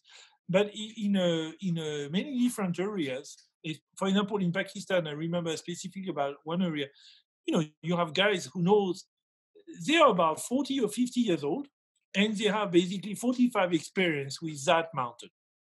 Yeah, because they are from that village and they know every like you, you know, I don't know when they started, but if the guys were like you and they started at four years old, starting to yeah, go everywhere, you know, and they know everything about this mountain. Yeah. So when you start to tell them about the stone and they show you something. And after two or three years, I remember a guy who was, then he came and he showed me something else and showed something else. Then you know that this guy has something to to say. And when you can communicate with these people, they are usually a, a, a mine of information. Absolutely. I, I, I, met some guys in Tanzania, like my usual uh, local contact. He had about uh, 30 years experience going around you know, visiting all the mining areas in Tanzania. And he had a great memories and he spent a, a lot of time in each of them. And he knew in each of them the guy who really knew the place better than he.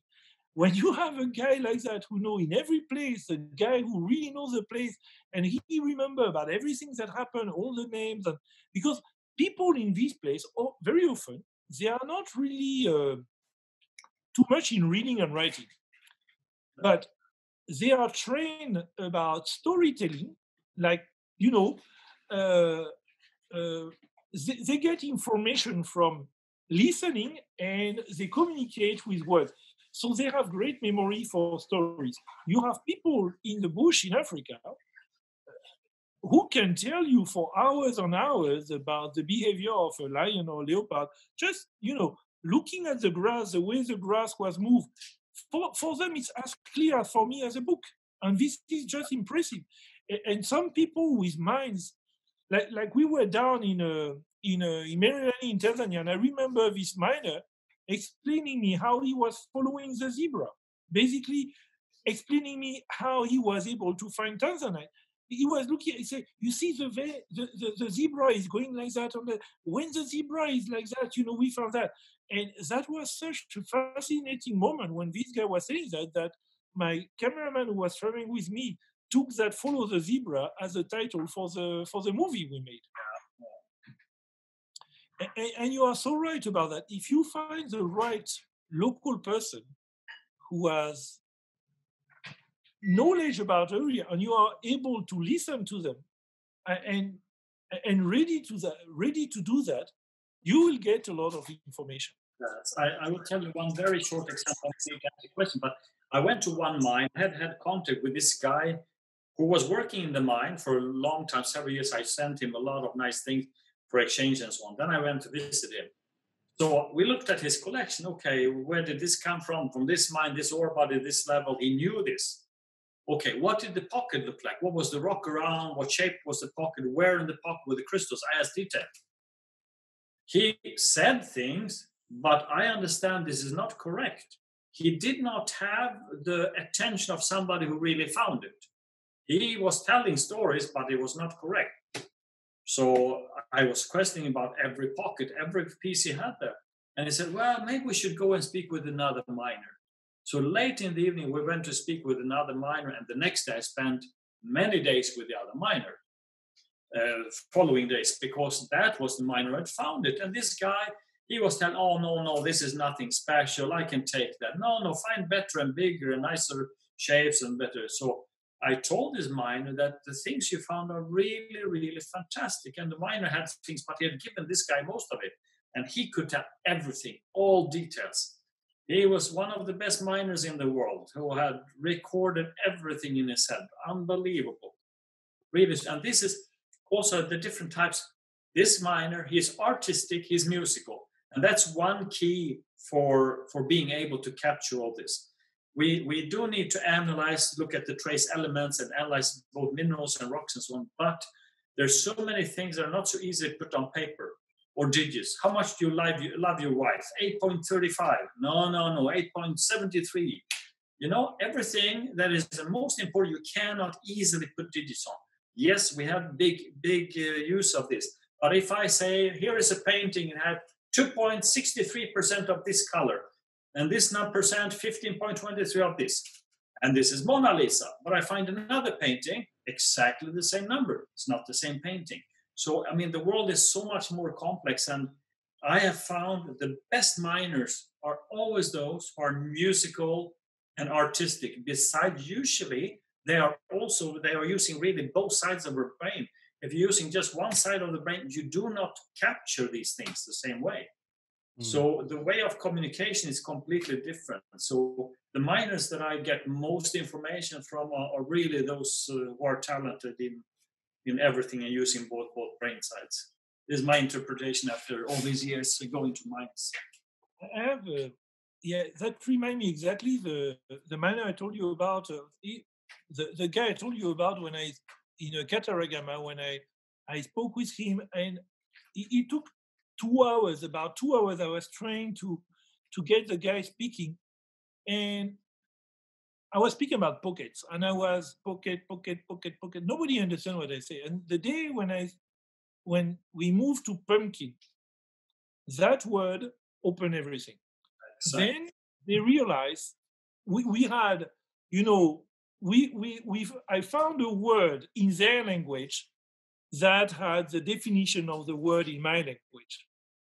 And in many cases, people are speaking, uh, throwing words at each other, like this day, you know, ethical, responsible, blah, blah, blah, blah. They don't have the same definition, so they cannot communicate. They, okay, we agree, everything, the thing have to be ethical, or things have to be like that, like that. They agree on the word, but they don't agree on the definition of the words. And, and this is making things very complicated. But with that minor, that we spent two hours agreeing on word definition. When we found the definition of the word that was okay, then everything was easy. Yeah. And, and I agree with you on the music, but uh, on the the type of uh, of guy that I found that most of the time when I, I, I go to different mining areas, uh, uh hunters are very good. They if you have a guy who is a good hunter or a good uh, tracker, basically he learn how to observe the ground and he know Absolutely. about hunting and tracking. Uh, that guy usually, if he's a good poacher or a good hunter, he might be, you know, a good. Uh, he might become a good miner because he had developed observation skills about nature. I, I spoke with many hunters when I started when I was a kid in farmers and hunters I spoke with and most many of the farmers in Sweden are hunters and they could tell okay up on this cliff on this side you have this it looks like ice quartz crystals and in this mountain here there's some purple stones and they could they could describe because they're very observant but it's the same personality whether they're hunters or or farmer or what you know but, And- when when you go to the forest and you are i was uh, i was hunting when i was young i i can you know you and i was bow hunting so use a bow. And sometimes uh, when you try to approach a deer by bow hunting in a one hour you are doing five meters you are walking very slowly and you observe around and you observe around and you observe around and you are looking for small difference because what you want when you are trying to hunt a deer with bow hunting is number one, the deer can see better than you, he can smell better than you, and he can hear better than you. So basically, and you are in his territory and they are territorial, so they know everything about the place where they are. And you have to beat them in their territory on both eye, sound, and smell. And that's the challenge. It's not about, you know, uh, putting an arrow on the deer and be able to harvest the deer. It's about, you know, you are a human person, you live there, and you have to go, you know, in the forest and you have to beat the world champion of this area. And, and if a guy can do that, I can tell you, a guy living in the mountain, and if he start to have an interest for stone, a good hunter who has an interest for stone will probably have observation skills that on this area and will be able to read the mountain like you cannot believe. And, and this is what I found in this guy. Yes. Good hunter in, uh, who know very well their place, if they have an interest in mineral, can be very valuable source of information. absolutely Peter, uh, somebody had asked a question when you were speaking about reading reading pegmatites for pockets. Can you speak a little bit more about some of the features that you see in pegmatites that tell you that there's a pocket? Yes. So it, you know, I should say that it depends on the pegmatite field. So there are many, many different types of crystallization in pegmatite. So some signs are good just to tell that this pegmatite is highly developed in the way that crystallizations and cooling and the mineralogy was good to have big chance to find interesting minerals. They don't need possible. They don't need to be in the pocket, but a good chance to find pockets or rare earth elements or lithium minerals or you know beryl pockets whatever it is so there are many things in the structure itself but if we were speaking about um, coming near the pockets there are many many signs and in fact i should say that each pegmatite field may have one two or three different types of what is coming near the pocket you could have for instance a quartz string shooting out of the pocket so you follow this quartz band. And I told many people about this, and one miner he found an incredible pocket thanks to that. Uh, you could have just water leaking out. That's how they found the Jonas pocket. I was lucky to meet Ailton Barbosa 1985. I could only speak Spanish, he spoke Portuguese, but he spent hours explaining to me everything how he found. And there was some water leaking out, so he opened up, and there was a small pocket with green tourmaline needles and after that comes Bum, Bumble, the big pocket with Jonas tourmaline. Uh, you can have uh, tree roads going down, follow the tree roads, they will find the pockets, uh, I said vegetation. Usually you get the structure. So for instance, if you have easy way, is to look like big tourmalines. They grow, they crystallize with the pegmatite, I mean with the other minerals. So they're pointing to where there is possibly a pocket. Of course, if the pocket, everything is three dimensional, so they could point here and the pocket was here and is already eroded on the mountainside. So you don't know. Or it, it could have been the other way. And the thing is, when you see those structures, I always tell people that when you see the good signs, don't drill and blast. Start to go. You can drill one drill hole. You can do gastroscopy almost, you know, and have a look, you know, with the fiber optics, what's in there. If you see a pocket in there, then you work by hand.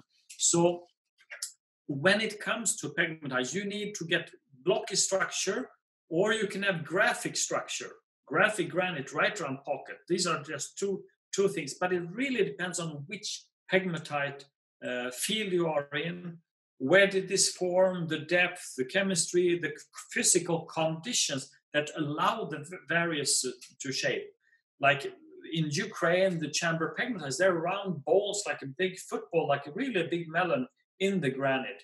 They have different shapes depending on mineral content. I've studied many enough to understand.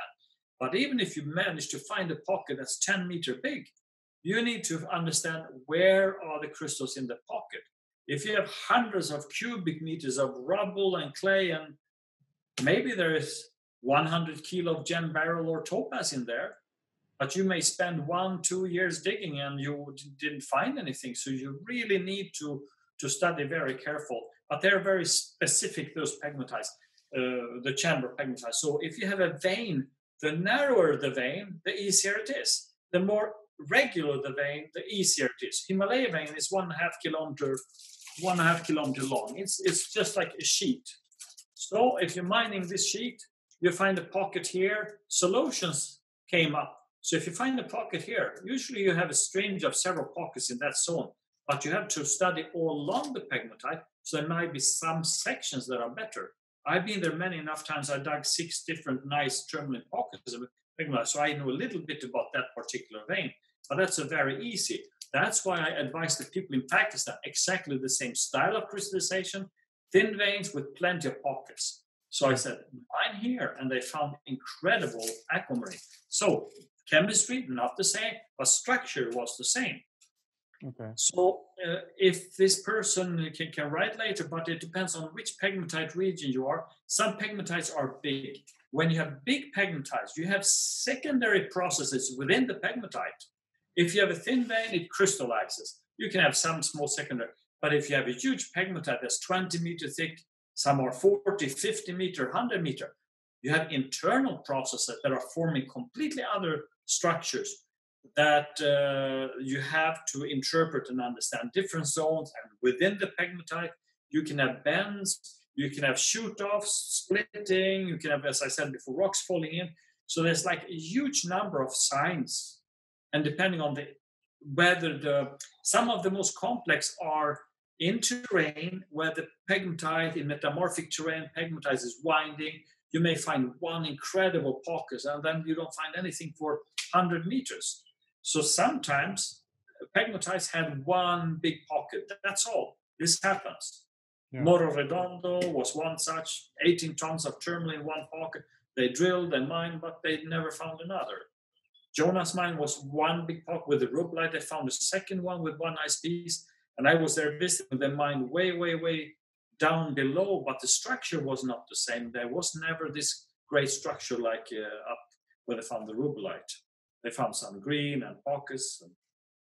I heard a story when uh, I was visiting uh, uh Namibia about, uh, you know, uh, an old German guy was telling me a story about the, we were visiting a, a, area near Usakos, and uh, he was explaining us uh, some uh, story about uh, pegmatite mining, and there was a, a, kind of huge mine, and he said, you know, the local people at one point they knew that uh, they hit a pocket because you know they were exactly as you say, they were drilling and then they were blasting, and when they blasted, all the smoke was blue. because they blasted the, the, the pocket and they blasted tourmaline and the tourmaline was blue and all the smoke was blue. So they blasted the whole thing. so, when you say that, yeah, when you see start to see that, you you just make a small hole, but you don't blast because they found a kind of uh, they, they, they they dig something and then they found oh okay it's going good, so we can put the explosive and then they blasted the whole pocket. This happens many many places. I've seen it even when they when they do that. And if you're drilling and suddenly the drill drops four meter, you have to think so I know uh, one deposit that I haven't that I would like to pump out. This was a pegmatite they were mining down, and they stopped mining. Why? Because it was a huge hole filled with clay. That's why they stopped mining. They wanted feldspar, feldspar and, and mica. So that was a problem to just a big hole filled with clay. They, that's not what they were looking for.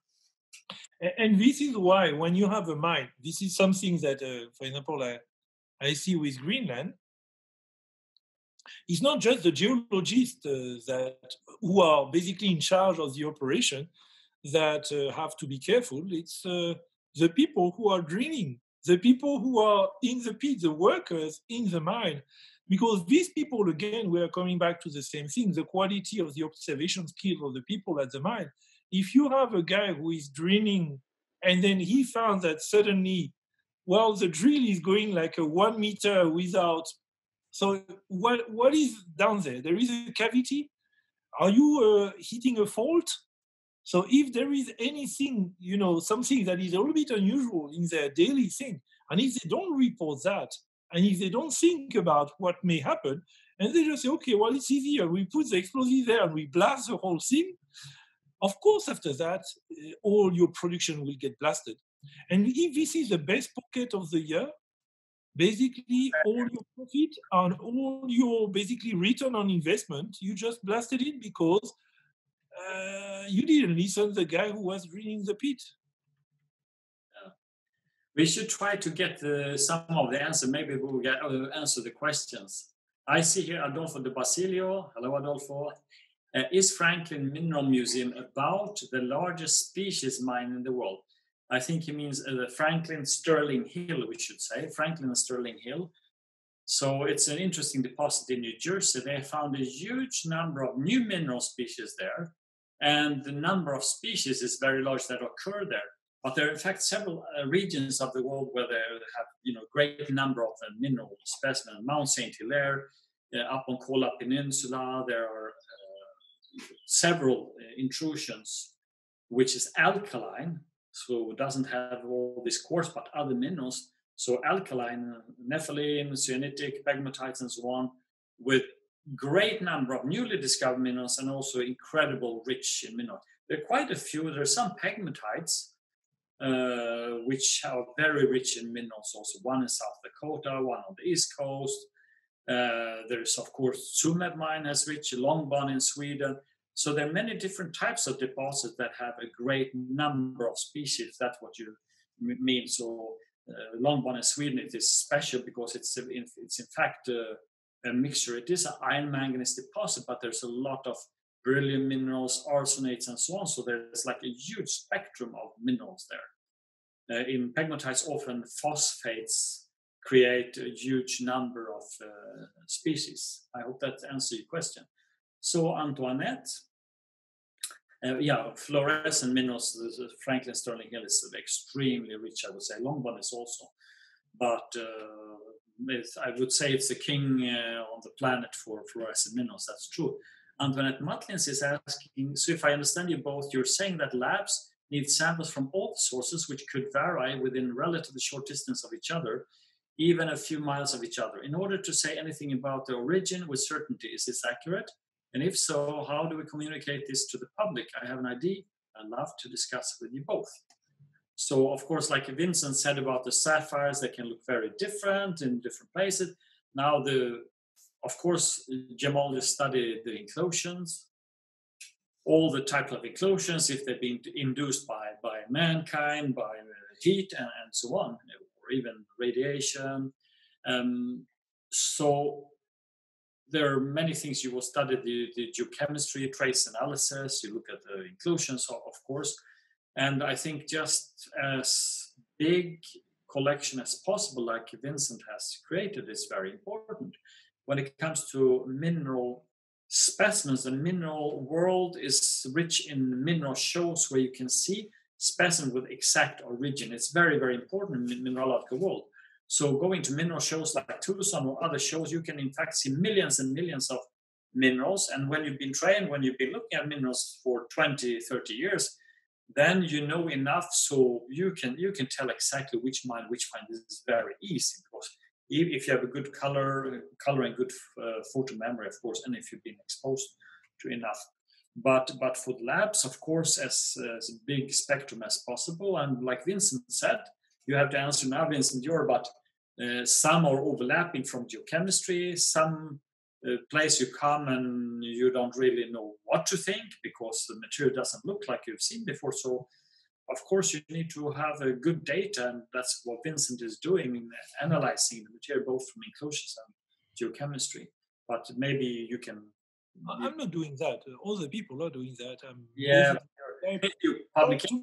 that basically uh, uh, the expensive machines that they have in lab and the experienced people and valuable people are working on a trustable material. Yes. That basically my part, and then I'm helping them on other thing, and I learn a lot from their work. But I'm not actually the guy doing LAICPMS uh, or trace method to do it for example, uh, fabricating the sample or taking photograph of them. Uh, Justin can tell you about. You know, um, I, I, am not. I, I, have some understanding and I have some experience of that, but I, at one point, you have to um, to integrate a team and you have to work in a team with people who are much better at what they are doing that you are, and you just have to focus on what you are really good at. So Antoinette, she's adding, yes, she understands this. Of course, she is expert. She's real expert in gemology, much more so than I. So what I'm suggesting is that the public seems to think that only Burma rubies are the best, etc. But for but some from Tajikistan, Snezhny and Nadezhda uh, veins are equally beautiful and equally ancient. So my idea is to educate the public about many sources of fine material, which is very true. And uh, of course, you know, people have um, you know people's limit some they're happy if they can na- na- name five gem species and then it adds up if they know even where where something is coming from it's it's good and of course some somebody seriously interested can can name all, almost every serious mine on the planet for one specific species and know what it looks like and so on so, of course, education is, is very important. And I think this is one way to do it. We are not showing any materials here, but at least we're discussing some concept. Uh, well, education is a, yeah, education is great. But for example, to be edu- able to educate people on new gem deposit, you need to be able to show samples. Yes. People need to be able to study them, basically write articles, books. Uh, Tajikistan, for example, if uh, people want to educate about Tajikistan, number one, academic people should be able to access the mine, to study the mine, which is extremely difficult. So that's and then collect some material, show some good material.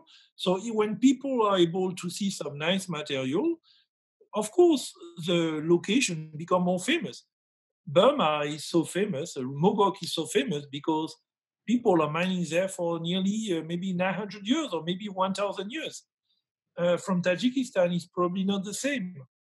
Yeah. So all the time, uh, basically the uh, mining areas that are kind of old will there will be more people who have written books and articles about them and this mine will that are called then classic uh, get an advantage. And if you want to compete with that and basically uh, write uh, articles that will be read or, or books that will be read by people there is only one way to do is to start. And i don't see many uh, books with beautiful photograph about uh, all these new place. Because again we come back to the same thing as we were saying at the beginning the sad thing is that many people don't read anymore. So how to educate the public when the public don't read or have so many different interests that they are not really interested in the topics that you want to put in a book.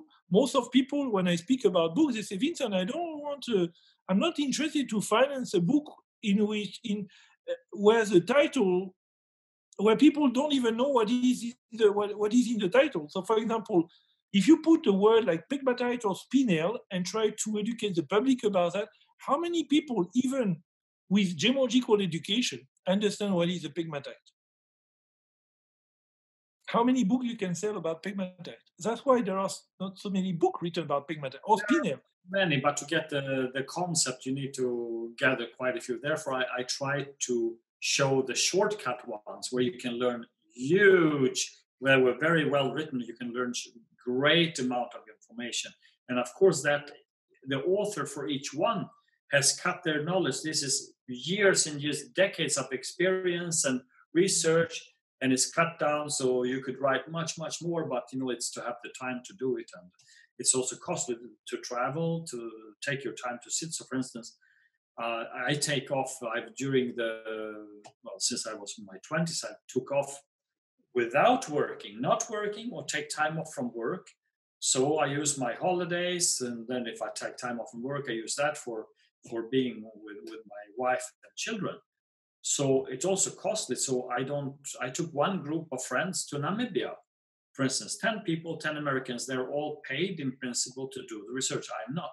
But for me to take two weeks off, I lose half a month's salary and I pay for the trip. So it's very costly. For me, it's extra costly. And I went to one conference in New Hampshire, was wonderful conference, but my cost, I pay airline ticket for me, my wife, rent a car, hotel, fee for me and my wife. You know, I cannot only travel without her. I try to bring her as many places that I can afford to But sometimes she has to stay home. We went to Brazil three weeks, and she had to climb up and down in mines every day for three weeks. So that's not every woman's uh, dream holiday, but she enjoyed it.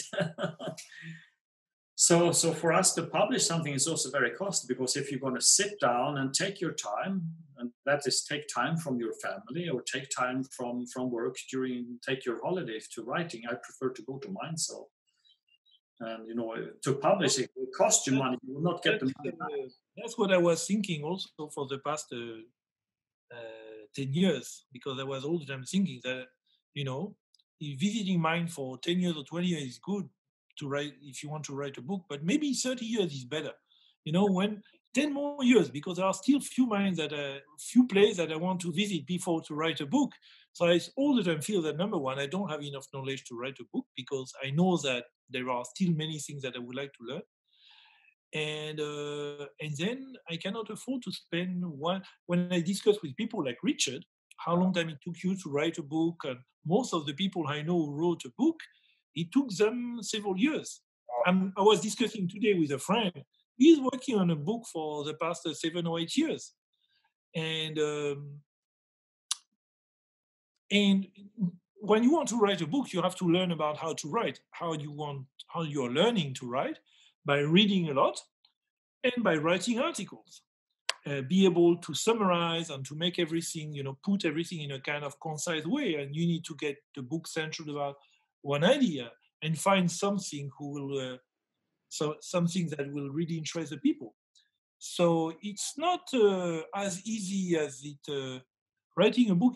Some people say, well, just make a coffee table book uh, with image. Yeah, so many people have done that already, so I don't think uh, why I should add one more. But uh, no, it, it, it's not easy. And then if you write a book, you cannot force people to read it. So, not easy. Now we got some. And Mubashir Mansour is asking, I wonder if there are any softwares based on the methodology you're using to scan entire Google Earth. I have never scanned entire Google Earth. When I was a kid, I was lucky. I had Hasselblad cameras in my home city. There we used to photograph the moon the first time they had tens of thousands of satellite images. So I was a kid. I had a friend there. I went down. I went through, and I was allowed to make copies. So I studied the planet from via Hasselblad via satellite images.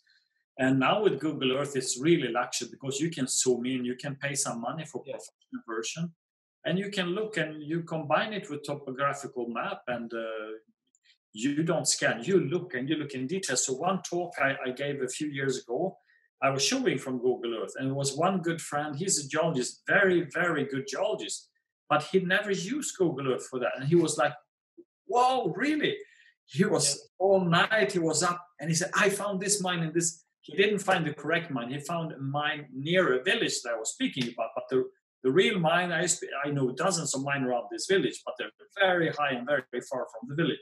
So he found the one mine near the village. I spent all, he was up all night. You could see in his eyes the next morning, but he was so excited. He never used it before, you know. I spent many, many evenings uh, uh, using Google Earth. Justin, you remember the discussion we had with uh, Gary Bowersox? Yeah. Basically, you want a software, for example, on Afghanistan. The software is called Gemstone from Afghanistan by Gary uh. You take the book, you have all the GPS data of all the known deposits at the end. Then, with all that, you go on Google Earth and you look at the area around. I can tell you that when you have a book with maps and GPS data, you go around with Google Earth, you can spend one or two months in confinement looking at all the uh, you know, the place in the Pakistan, Afghanistan, Tajikistan area, or also, you know, in a other place in Africa, uh, it's huge. What you can do is huge. Before going to a mining area, going on a field expedition, I all the time spend minimum five or six hours looking at all the the area that I want to visit on Google Earth. And the great thing is you can go back in time you have some image, satellite image, that were taken like uh, one or two years ago, some other six or seven years ago, and things like that. So you can also go, you know, when you have a, a, a specific uh, area, you can go back in time and see that, oh, five years ago there was a mine there on the other side of the mountain. And when you reach the mining area and you start to speak with a guy in the village and you tell them that, yeah, about five years ago there was a mine on the other side of the mountain, I can tell you the guy don't take you anymore for a tourist. So sometimes it's uh, quite interesting what you can get with Google Earth. It's just fascinating. Uh, and ago it was not available, but now it's available. I when Google Earth came, I started looking many areas of the world, but I remember specifically I looked in Afghanistan and I marked every vein that I thought would be interesting, and one that I said, "Wow, this looks really, really good." And that was just from Google Earth. And I made print and that computer is I have many many computers later so I don't have the Google Earth version but I made prints of what I thought. And it was funny a few years ago I went in and I had found this and I went in and there then you could from origin you couldn't see the mine tunnels now you could see the mine tunnels in the pegmatite maybe there was one small tunnel at that time but now you can see several tunnels and I mm-hmm. did also one area of Vietnam I looked and I just looked at the geology and it's jungle as we spoke about before. But I looked at topography, a couple of lakes, and just from topography, I said, "Well, this looks like a granite intrusion." So I searched, I found the, the geological map, and it was exactly the granite intrusion. This looks really good. It was just jungle cover, but geological map was confirming what I was suspecting just from topography. And in 2004, 2005, 2006, the quality of the photo on Google Earth was in many areas was so-so. Now, when you see what some of the mining areas, I remember I went a few years ago, and you know, after a few years, you return on Google Earth and you look at exactly the same place you were look watching a few years ago. The quality of the of the of the photo is way much better. Uh, you go in Vietnam, uh, for uh, Yente and things like that. You see all the alignment because in Vietnam it's funny. You have the the rubies, the blue spinel, and the pink uh, purplish spinel are in three parallel lines that are basically distance of 10 or 20 meters. And, and, it's all going on the same, uh, you know, uh, people don't like to say line, layer, or geologists don't like the word line they say uh, basically a layer or a, a, trend, and and it's just fascinating because you wonder, okay, I've been to that place, I've been in that. What about in the middle? And then you go with a local guy and you go in the middle, and guess what you find? Miners. Miners. People in the middle. And, and, it's just fascinating, just with Google Earth. Google Earth is such a, a wonderful tool for exploration before a field expedition. Just wonderful. So Antoinette was leaving us. Bye bye. yeah, we kept on quite a while. Justin, Peter, Maybe um, you have a final uh, kind of question before to uh, yeah, this is some this is just my Peter? little this is my little side question from hearing all this. You you know, hearing your whole life story. I I wrote a I wrote an article about the British mineralogist John Mawe last year, and from hearing your story and and all the places you traveled to, a lot of the places you've been to overlap. You know, places he was going to 200 years ago, and I just wondered, have you read? You know, when you were just getting into this, did you read much of his stuff, or have you you read much? many many people. In fact, I not based on others travel. You know, I always study deposit as they are. So I traveled, and probably I'm a little stubborn because I always took the chance to go to the place because, like Soviet Union, it was closed. You couldn't go there. So when it opened up, I went to try to see all the deposits. That it was not easy to get permission. Took years, but still, because I didn't know in one year later, two years, ten years later, it would be possible and now other places on the planet have become more difficult to visit. I'm not speaking about the last few months now, but but even the last few years, sometimes war starts pop up, and you know it's it's changing all the time. So I always the localities that I thought that this will always be possible to go to, and if I hadn't been, there was not priority one. I, I always selected some of the most difficult when there was a chance. And also, you know, we're not getting any younger, so within 20 years or 30 years, I need to go to Kashmir because when I'm getting towards 90, I think it's a bit rough to try to hit up to Kashmir. it's very high altitude also. Yeah. Okay. Well, it, I think it's been a really, really great chat. Um, you know, we I feel like I personally learned so much about a lot of stuff that I didn't know about. So thanks for, you know, taking the time to to give us so much of your knowledge and experience. I, I feel like, as you said, you can probably write books and books and books about all this wisdom that you've accumulated, and probably you should before it's too late. But for today, at least, thanks for taking a few hours and letting us get a little download from your your whole life. Thank, thank you very much. Uh, one last comment from my side. I was invited a few times to China. And one time I was in China, they said, Oh, we would like you to come back and uh, and be here for two weeks and teach us everything you know. And I said, uh, about what? About pyrite or about which mineral? You know how can you teach everything you know within two weeks? That's that's not possible. Yeah. I mean, you need to prepare. If you're going to do PowerPoints and run it through in two weeks, of course you can do that, but then you will need to prepare for a year or something, a year's Yeah. work to Yeah. prepare them. And of course, it would only be a little bit anyway. So. Yep, uh, I agree. Uh, Peter, really thanks a lot, and for everybody you know watching us. If you uh, want to learn a little bit more about uh, Peter and his pegmatite, I really strongly advise you to uh, go to uh, YouTube on the AIGS channel, where you will find a webinar that Peter gave recently, with which was quite different from this one because this one is uh, basically a discussion we have. But on the one that uh, Peter gave at AIGS, you will see uh, many uh, photographs, many slides, and something more, more graphic. But the reason why it's not the same here is because this is not the same thing. And I just uh, told Peter, please, we don't, we are not here to to do again uh, what you did at uh, AIGS. We are here to uh, to have a discussion about pegmatite and everything around. So uh, if you want to learn more about pegmatite, you have many good books, and uh, you have uh, uh, this webinar. So please uh, go to get curious, keep uh, curiosity going, and and please don't forget uh, to read, read, and uh, dare to ask question and uh, think, and then uh, go to explore the world and uh, learn more.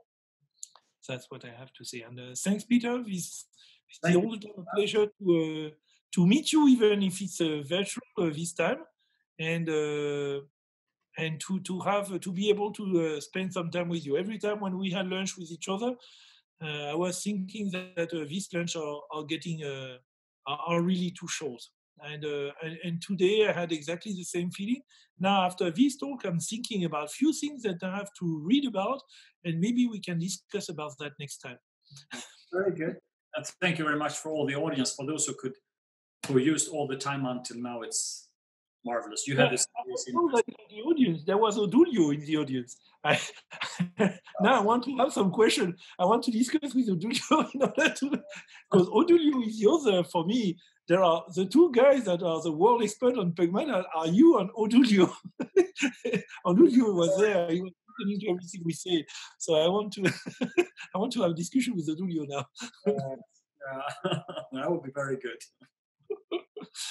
Okay, so next week uh, we'll have another passionate uh, uh, geologist coming to uh, speak with us.